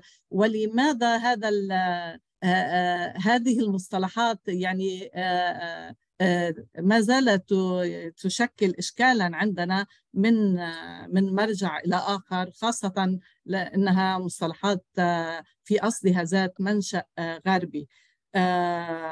أود معرفة أنه أصل هذا المصطلح كيف ورد وكيف السبيل إلى توحيد هذه المصطلحات لحتى تكون معروفة ومفهومة لدى الجميع لا سيما أن بحثي في الماجستير كان حول هذا المصطلح الانترديسبلينري لكن بالنسبة لي اليوم كان كأنه جديد بالمصطلح يعني.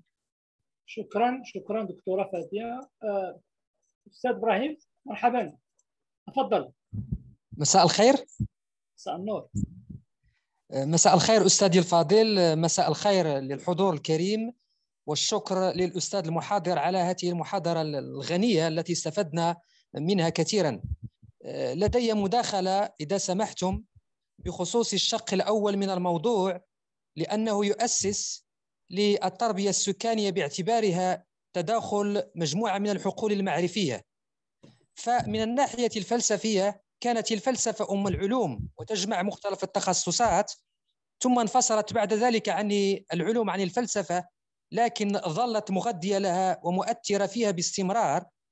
ثم انتقلنا بعد ذلك إلى التخصصات الدقيقة ومعها أصبح الإنسان مهددا في ثقافته ومحدودية زاوية رؤيته للعالم. لذلك فالفيلسوف الفرنسي إدغار موران يؤسس من جديد لما يسميه ب la complexité et la complémentarité وينتقد بعد الفلاسفة عن العلوم وبعد العلوم أيضا عن الفلسفة. ونحن اليوم كبيداغوجيين نتفاعل مع مختلف الحقول المعرفية ونتغذى منها من السوسيولوجيا وعلم النفس بمختلف تخصصاته.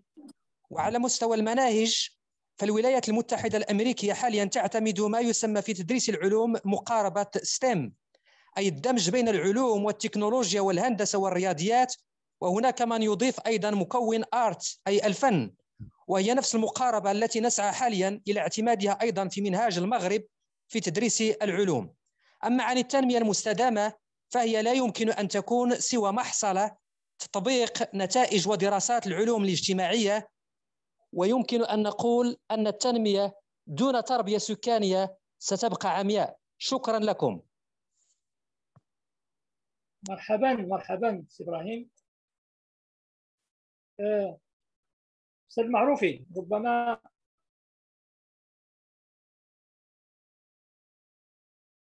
من بعد. أستاذ عبد الغني المعروفي الأنصاري سي كمال أنصاري مرحبا. آه، السلام عليكم. آه، شكرا أستاذي عبد العزيز والأستاذ المحاضر الدكتور آه، فهد على المعلومات القيمة في موضوع اللي هو مهم جدا. عندما نتحدث عن التربية السكانية عموما هذا مفهوم يبقى بالنسبة حتى لا المختص ولا حتى المتعلم فما هو مفهوم فضفاض ومفهوم اللي يعني شاسع. آه، فاش كنربطوه ب... هنا السؤال غنطرحه على الاستاذ فهد ب... ب... ب... بالمتعلم وبالمناهج التربوية هل فعلا هل فعلا اليوم المتعلم لديه القدرة على اكتساب هذه المعارف؟ هل فعلا المتعلم اليوم من خلال المناهج التربويه سواء في المغرب أو غيرها من من من البلدان العربية؟ من خلال تلك الدروس والوحدات المقدمة وهنا غنتكلم مثلا على على على, المغرب بحكم أني أستاذ درست ماده التاريخ والجغرافيا. فعلا يتم إدماج هذه هذه المهارات وهذه المعارف من خلال مجموعة من الوحدات التدريسية. هنا غنتكلموا مثلا كما تحدث الدكتور سابقا عن مسألة التوزيع الغير المتساوي للأنشطة والسكان. وهنا كيخلق لنا واحد التباين مجالي. آه، لكن هل اليوم المتعلم قادر على استيعاب هذه المعارف؟ أو أنها مجرد وحدات دراسية لتجاوزها في في مثلا في امتحاناته الإشهادية أو أو غير غير ذلك سواء في المغرب أو في في في العالم العربي. مسألة أخرى. تفضل تفضل تفضل. نعم تفضل. شكرا أخرى عندما تحدث مسألة أخرى الدكتور أعطى مثال بالصين وأعتقد أن وهذا من وجهه نظري على أن مسألة الصين على مستوى التنمية ومؤشراتها التنموية آه، هنا عندها إشكالات كبيرة جدا. أنا إلى غنعطي مثال ونعطيه بمثال باليابان. اليابان دولة لا تتوفر على موارد طبيعية نهائيا تعتمد على الاستيراد في العامل البشري. وهنا على مدى وجود تربية سكانية فعلا في هذا في هذا هذا البلد وربطها بالتنمية المستدامة. وهنا فاش كنقول التنمية المستدامة نتحدث عن مفهوم الحكمة والتدبير المعقل لهذه الموارد الطبيعية وكيف يمكن أن تخدم هذه الموارد الطبيعية الساكنة. اليوم السكان عندنا في المغرب أو في العالم العربي معامل سلبي تجاه الموارد الطبيعية. هي أصلا قليلة جدا. نتحدث اليوم عن الماء اللي فيه إشكالات آه، كبيرة جدا آه، أغلبية الدول العربية فهي أقل من المعدل العالمي نصيب الفرد وهذه إشكالات كبيرة جدا. هل اليوم النمو السكاني هو عامل مساعد أو عامل سلبي في وجهه نظر آه، أستاذ الدكتور فهد وتحياتي للجميع. شكرا شكرا سي انصاري فكرة واضحة. سي عبد الغني؟ أستاذ عبد الغني معروفي. شكرا. اسمعك الدكتور عبد العزيز. آه تفضل تفضل سي عبد الغني. تفضل مرحبا. activer الصوت؟ active. راه الصوت آه، تسمعوني؟ okay okay. الآن مزيان الآن مزيان. جيد. اولا أود في البداية أن أتقدم بالشكر الجزيل للدكتور فهد الذي صال وجال معرفيا وعمل عمل جاهدا على الإحاطة بالإشكالية من جميع جوانبها. وهذا شيء مهم في الجانب التنظيري الجانب التنظيري للإشكالية ديال التربية السكانية والعلاقة البينية مع التنمية المستدامة. وكذلك بعض التصورات على الجانب البيداغوجي اللي هو مهم جدا.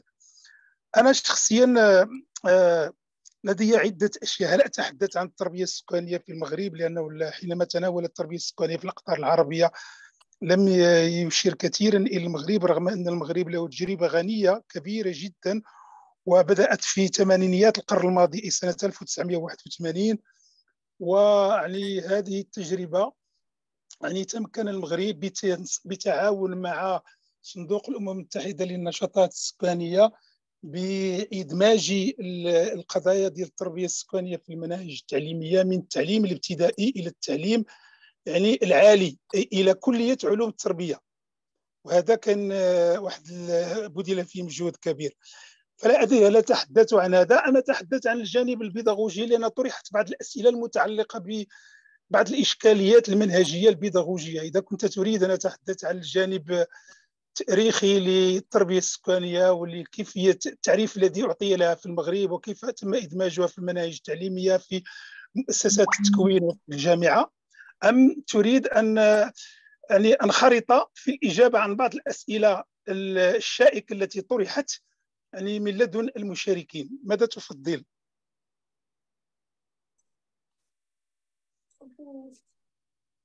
ألو؟ تفضل سعد آه، هذا السؤال موجه لمن أستاذ معروفي؟ لا موجه لك شخصيا؟ هل تريد أن أتحدث عن تاريخ التربية السكانيه في المغرب والمقاربات التي اعتمدت في بناء المناهج؟ أم تريد أن نخرط في الاجابه على بعض؟ ممكن لك ممكن تحدثنا عن تجربتك أستاذ معروفي ممكن تحدثنا عن تجربتك؟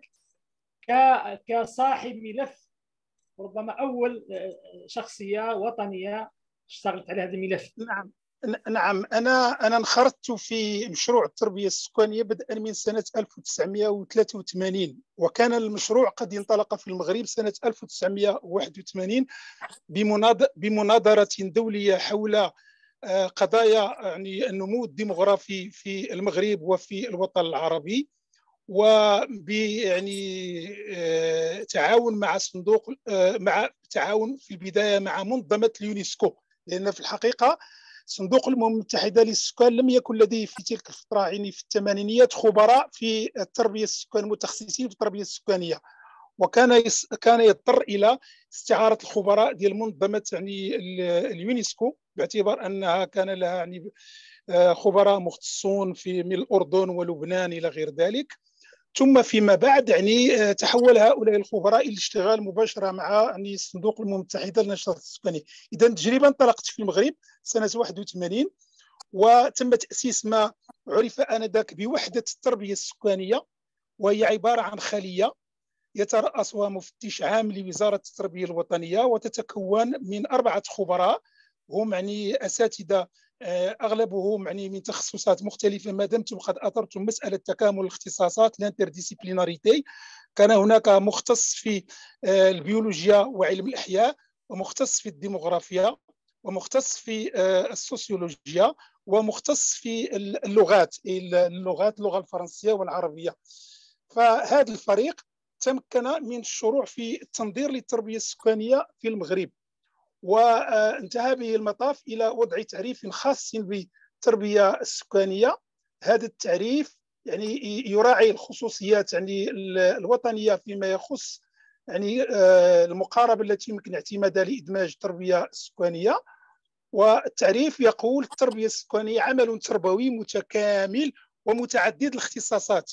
هنا الفكرة التي تقدمت بها الاستاذه الفاضله مسألة ديال الانترديسيبليناريتي اذا عمل تربوي متكامل ومتعدد الاختصاصات يسعى إلى توعية النشء المغربي بالظواهر السكانية في بلده والعالم في تفاعلها مع المعطيات الاقتصادية والثقافية والبيئية ومع متطلبات التنمية الشاملة آنذاك. لأن في تلك الفترة لم يكن بعد مصطلح التنمية المستدامة قد تم الترويج له ولكن كانت فكرة التنمية حاضرة. وذلك قصد هذا الجانب الديداكتيكي والبيداغوجي وذلك قصد المساهمة في تطوير قدراته العقلية وصقل مهاراته بغية مساعدته على تحمل مسؤولياته مستقبلا وترشيد سلوكه بما يفيد أسرته ووطنه تطلعا لغد أفضل في ظل مقومات مجتمعه الدينية والحضارية. اذا هذا هو التعريف الذي تأسست عليه التربية السكانية في المغرب وطبيعة التعريف كان فيه ما يمكن نسميه بالإطار الابيستيمولوجي الأبعاد البيداغوجيه السلوكية والخصوصيات القيمية والحضارية. وتاسيسا على هذا يعني التعريف هذا تم يعني آه، تحديد مجموعة من المجالات للتربية السكانية في المغرب هذه المجالات سبعة وهي دينامية السكان وقد تحدث عن ذلك الدكتور فهد سابقا العوامل يعني السكان والتنمية السكان والبيئة السكان ورفاهية الأسرة السكان والقيم والسكان وبدائل المستقبل. وانطلق المغرب في تجربته فيما يخص يعني إدماج التربية السكانية بعدما أن تمكن من وضع مقاربة ديداكتيكية لبناء وتدريس مفاهيم التربية السكانية في المناهج التعليمية. ومرت هذه التربية السكانية في المغرب بعدة مراحل. مرحلة الستينيات من القرن والسبعينيات من القرن الماضي وفيها تم طغيان محتوى المادة وغياب البعد السكاني لم يكن البعد السكاني حاضرا. مرحلة الثمانينيات وقع تحول في نوعي في الخطاب السكاني. ثم بعد ذلك دخلنا إلى مرحلة إدماج التربية السكانية في المناهج باعتماد يعني أساس النظري البيداغوجي وباللجوء إلى تكوين الفاعلين التربويين من أساتذة ومعلمين ومدرسين في مؤسسات التكوين. ثم انتقلنا إلى مرحلة إنتاج العده البيداغوجية أو الديداكتيكية وهي مجموعة من الوثائق ووثائق كثيرة جدا منها مثلا على سبيل المثال الدليل المرجعي في التربية السكانية للسلك الأول من التعليم الأساسي الكتاب المرجعي التربيه السكانية في المغرب شبكة المنهاج العام متعدد الاختصاصات للتعليم الإعدادي والثانوي دروس نموذجية مسجلة على أشرطة الفيديو للسلك الثاني من التعليم الأساسي يعني مطوية للتربية السكانية من إنجاز تلاميذ السلك الأول من التعليم الأساسي لتحفيزهم على التفكير في قضايا السكانية والاهتمام بها وبانعكاساتها على نوعية حياة الفرد والجماعة. ثماني ملصقات تعكس المظاهر الديموغرافيه والبيئية المستمدة من الواقع السكاني المغربي وفي صيغة لوحات بيداغوجية داعمة للخبرات المعرفية للمتعلمين من أجل حثهم على نهج السلوك الديموغرافي الملائم وتعميم الخطاب السكاني داخل وخارج المؤسسات التعليمية. كما أننا قمنا بإدماج مفاهيم التربية السكانية والقضايا الديموغرافيه في تكوين مخططي التوجيه التربوي. وفي هذا الإطار يعني تم يعني تنظيم دورات تكوينية لفائدة الأساتذة الذين يلتحقون بمركز التوجيه والتخطيط التربوي. دورات تكوينية داخل المغرب وخارج المغرب وإنجاز أطلس للديموغرافيا المدرسية. الاطلس de démographie scolaire يتضمن هذا الأطلس المكون من 150 صفحة خرائط ولوحات مبيانية معززة معززة بشروح وبيانات عن سكان المغرب واوضاعهم الاجتماعية والاقتصادية بوصفها مؤشرات ديموغرافية تساعد صانعي القرار بالإدارة المركزية وطرق التخطيط والتوجيه التربوي على اتخاذ القرارات الملائمة والمناسبة. وانتقلنا ما بين سنة 92 و 96 نعم إلى مرحلة مأسسه التربية السكانية.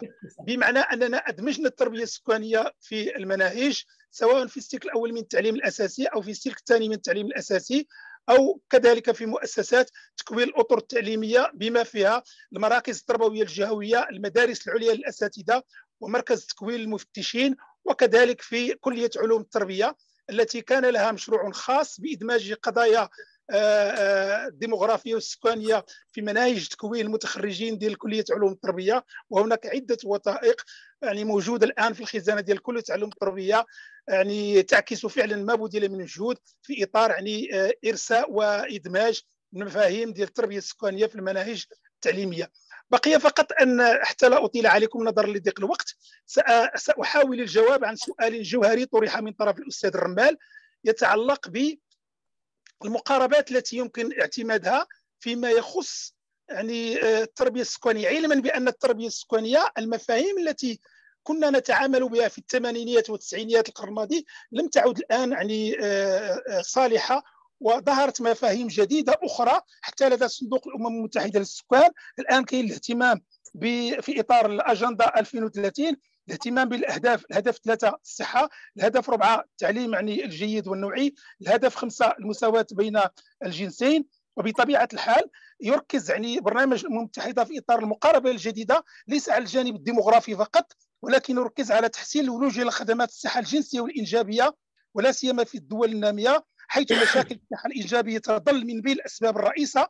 فخدمات الرعاية الصحية والإنجابية تشمل خدمات صحة الأم وتنظيم الأسرة وما وما يمكن النساء من المحافظة على صحتهم واختيار حجم أسرتهم اعداد الأطفال التي يرغبون فيها يعني وتقرير حتى في فترات الحمل أي ما يمكنه من حرية الاختيار وإمكانية مواصلة حتى دروسهم من كانوا يدرسون في التعليم الثانوي الإعدادي أو في الجامعة والعمل وإنقاذ أسرهم من الفقر.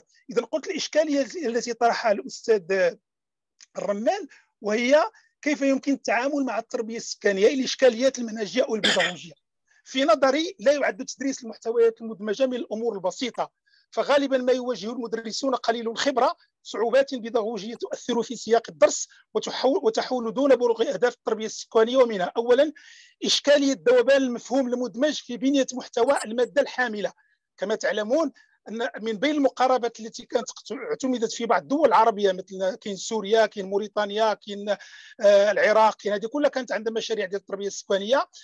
آه إشكالية يعني اعتماد ما يسمى بمبدأ الدمج الدمج في بنية المحتوى يعني للمادة الحاملة. إذا كانت هذه المادة الحاملة هي اللغة العربية أو آه، العلوم أو اذا أو الرياضيات إلى غير ذلك. ففي هذه الحالة تطرح يعني عدة مشكلات ومن بين هذه المشكلات كيف يمكن تتبع وتقييم الجزء المرتبط بالتربية السكانية أو بالمفهوم السكاني المدمج لأنه قد يذوب أحيانا لدرجة التحلل التام مع مضامين الدرس أو مع مضامين المادة الحاملة ويصبح من الصعب جدا يعني تقييمه والتعرف على درجة يعني الإدماج وعلى درجة تأثير مفهوم التربية السكانية في سلوكيات وتصرفات المتعلمين. كذلك هناك إشكالية إدماج قضايا ثانوية حيث أحيانا يتم إدماج قضايا ومفاهيم سكانية ثانوية على حساب المواضيع والمفاهيم الرئيسة للتربية السكانية وهذا ما يضعف من المضامين السكانية ويجعل تأثيرها في معارف واتجاهات ومواقف المتعلمين محدودا بل أحيانا ضئيلا وبالتالي لا يخدم أهداف التربية السكانية. هناك كذلك إشكالية منهجية التدريس. كيف ندرس مفاهيم التربية السكانية من منظور الاستدامة؟ هل ندرسها يعني وفق منهجيه المادة أي مادة اللغة العربية أو التربية الإسلامية أو الرياضيات أو العلوم أم ندرسها وفق منهجيه التربية السكانية. وهذه إشكالية ينبغي الفصل فيها وينبغي يعني السعي إلى إيجاد الصيغه الملائمة لتمرير مفاهيم التربية السكانية دون يعني التأثير على منهجية المادة الحاملة ودون كذلك أن تصبح منهجية التربية السكانية طاغية على يعني آه، منهجية المادة. كذلك إشكالية تقويم الدرس. يعني تقويم أهداف التربية السكانية يصعب أحيانا وهذا من خلال تجربتي ومن خلال الدروس التي أنجزت في المغرب والتي جربت على مستوى يعني عدة مؤسسات تعليمية بالمغرب. يصعب أحيانا تتبع تقويم يعني آه، الأهداف ديال التربية السكانية داخل الدرس الواحد وبطبيعة الحال يعني هذا يعني نصبح لا نحن لا نحن مع المادة الحاملة ولا نحن مع يعني المفاهيم التي يتم الترويج لها في إطار التربية السكانية ثم أخيرا هناك مسألة يعني التعليم النظامي والتعليم غير النظامي الذي كذلك أثيرت من المعلوم أن التربية السكانية في التعليم النظامي تختلف عن التربية السكانية في التعليم غير النظامي في التعليم غير النظامي غالبا ما يعتمد على جدادات وعلى وحدات أو مصوغات من الدروس.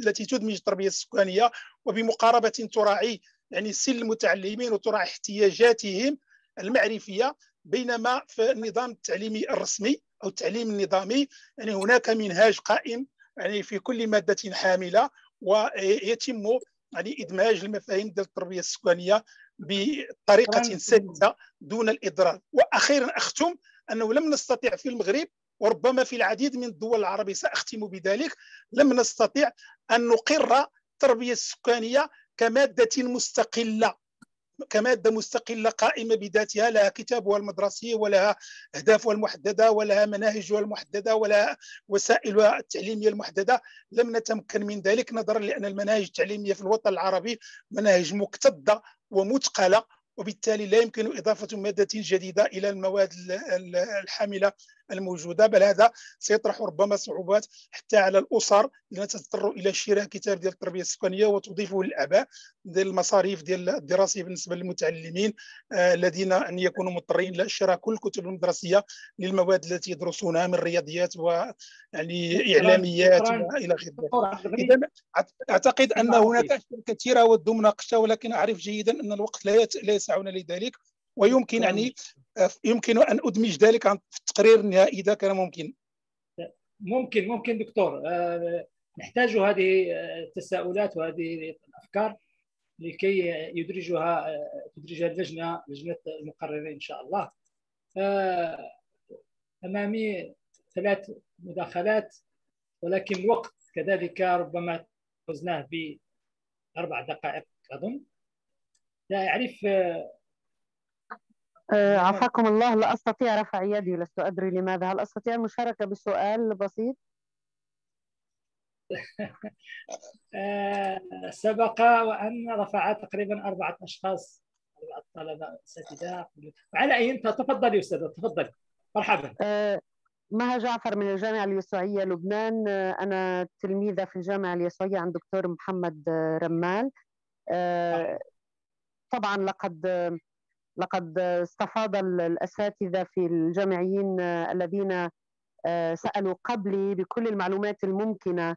أود أن أركز على أمر بسيط فقط أننا نحن في العالم العربي في الإمارات العربية المتحدة مثلا على وجه الخصوص لا أتحدث عن لبنان حاليا آه، لأننا نحن في طور آه، تطوير المناهج لم نبدأ بعد.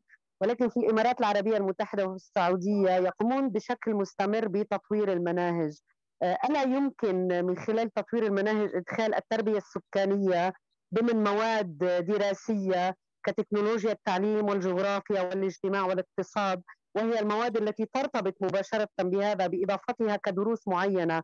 بالطبع مع كل تطوير للمناهج هنالك تدريب للأساتذة.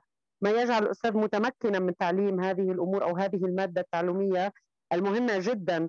آه، وكما آه، يعني وأيضا آه، أضيف ما تفضل به الدكتور رمال آه، آه، عن المتعلم عن الأفراد خارج الجامعات والمدارس. هل يمكن أن يكون هنالك دور للإعلام للوسائل لوسائل الإعلام ولوسائل التواصل التثقيفية بنشر الثقافة عن مسألة التربية السكانية؟ نحن نعرف أن المعارف آه، تنتقل بشكل أبطأ من أي تكنولوجيا أخرى يعني أبطأ من التكنولوجيا المادية التي نعرفها ولكن بشكل عام. ألا ألا تلعب آه، وسائل التواصل والا يمكن أن تلعب وسائل التواصل أو وسائل الإعلام دورا في التوعية بهذا الأمر وشكرا. شكرا شكرا أستاذة مها. آه، أنا أقترح تجاوزا صراحة الوقت. اقترح آه، دكتور عبد العزيز ومحمد الهلالي وعبد اللطيف قصور ويوسف. إذا كان ممكن ترسلوا ترسلوا لي آه، الأسئلة مكتوبة لكي ندرجها في التقرير إن شاء الله. لأن التقرير سوف يمر عبر محطات آخرها سوف يقدم للدكتور آه، فهد لكي يطلع عليه قبل نشره إن شاء الله. يمكن إضافة يعني يعني الأجوبة عن التساؤلات. اذا أقدم مباشرة الكلمة للدكتور فهد. تفضل دكتور.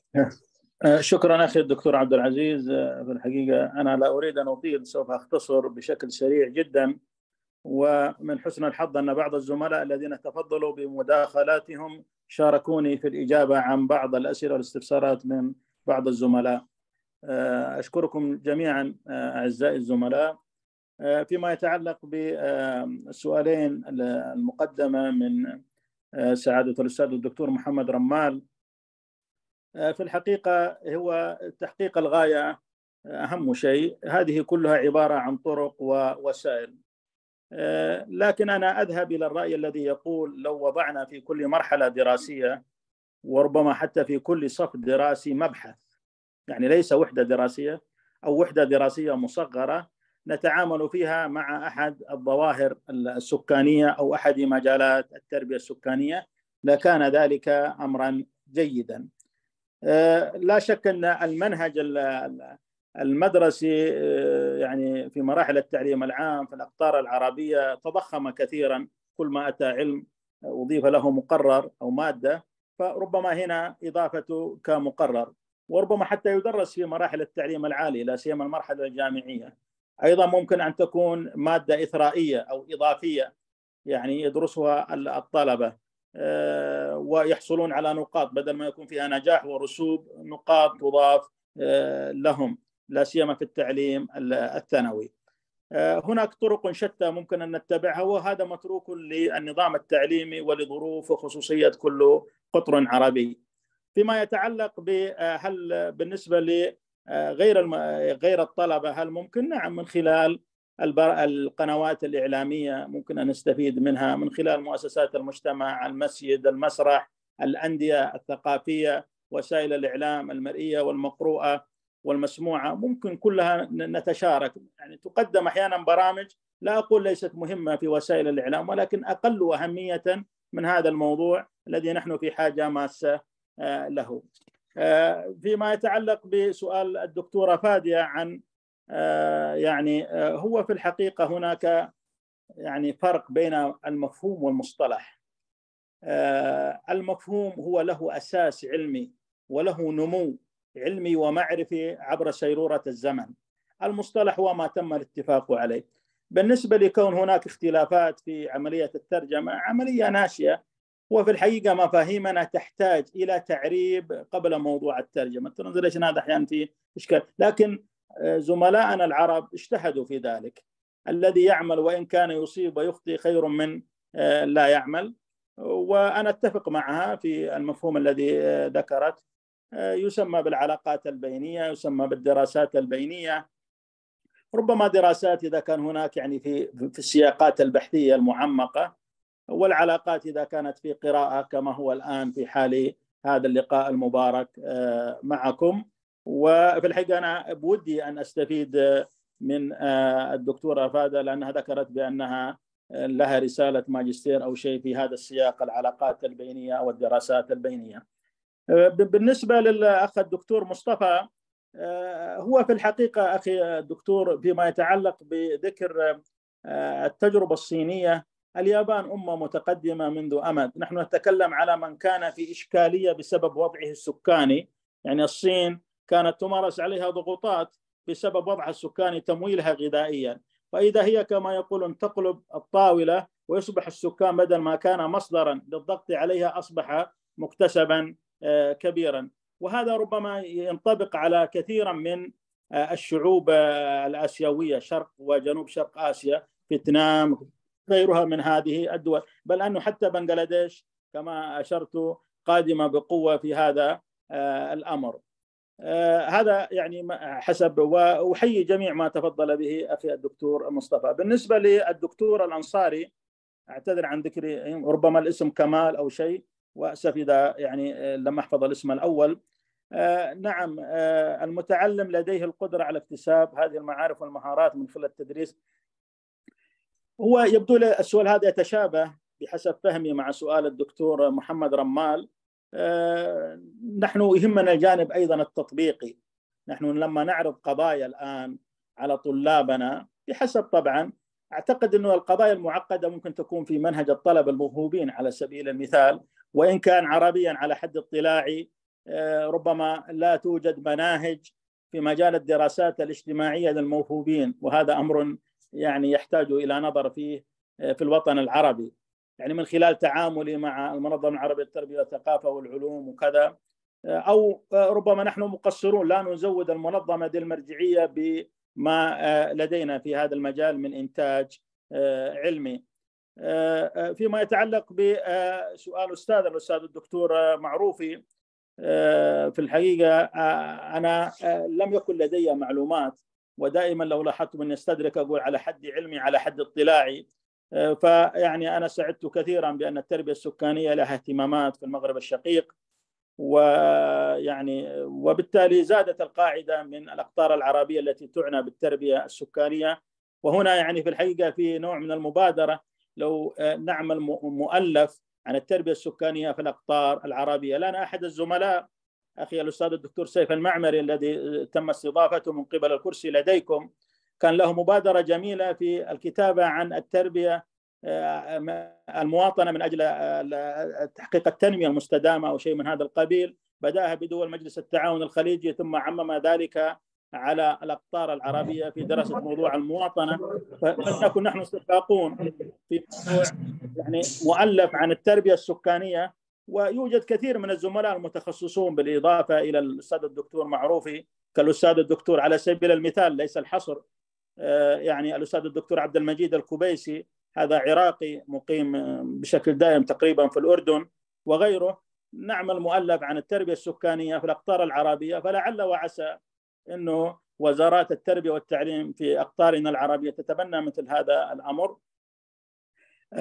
فيما يتعلق بالسؤال الذي قدم يعني هو في الحقيقة مناهجنا تحتاج نعملها مصفوفه مدى وتتابع التربية السكانية سواء قدمناها في وحدات قدمناها في برنامج متكامل في برامج إثرائية أو حتى قدمناها عبر مؤسسات المجتمع ولا سيما المجال الإعلامي. لابد أن نستفيد من الإعلام في هذا السياق.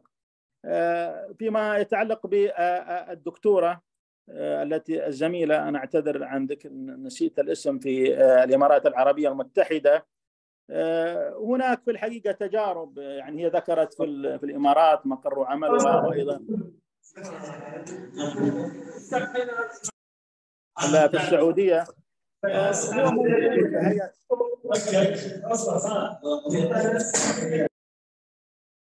عفوا.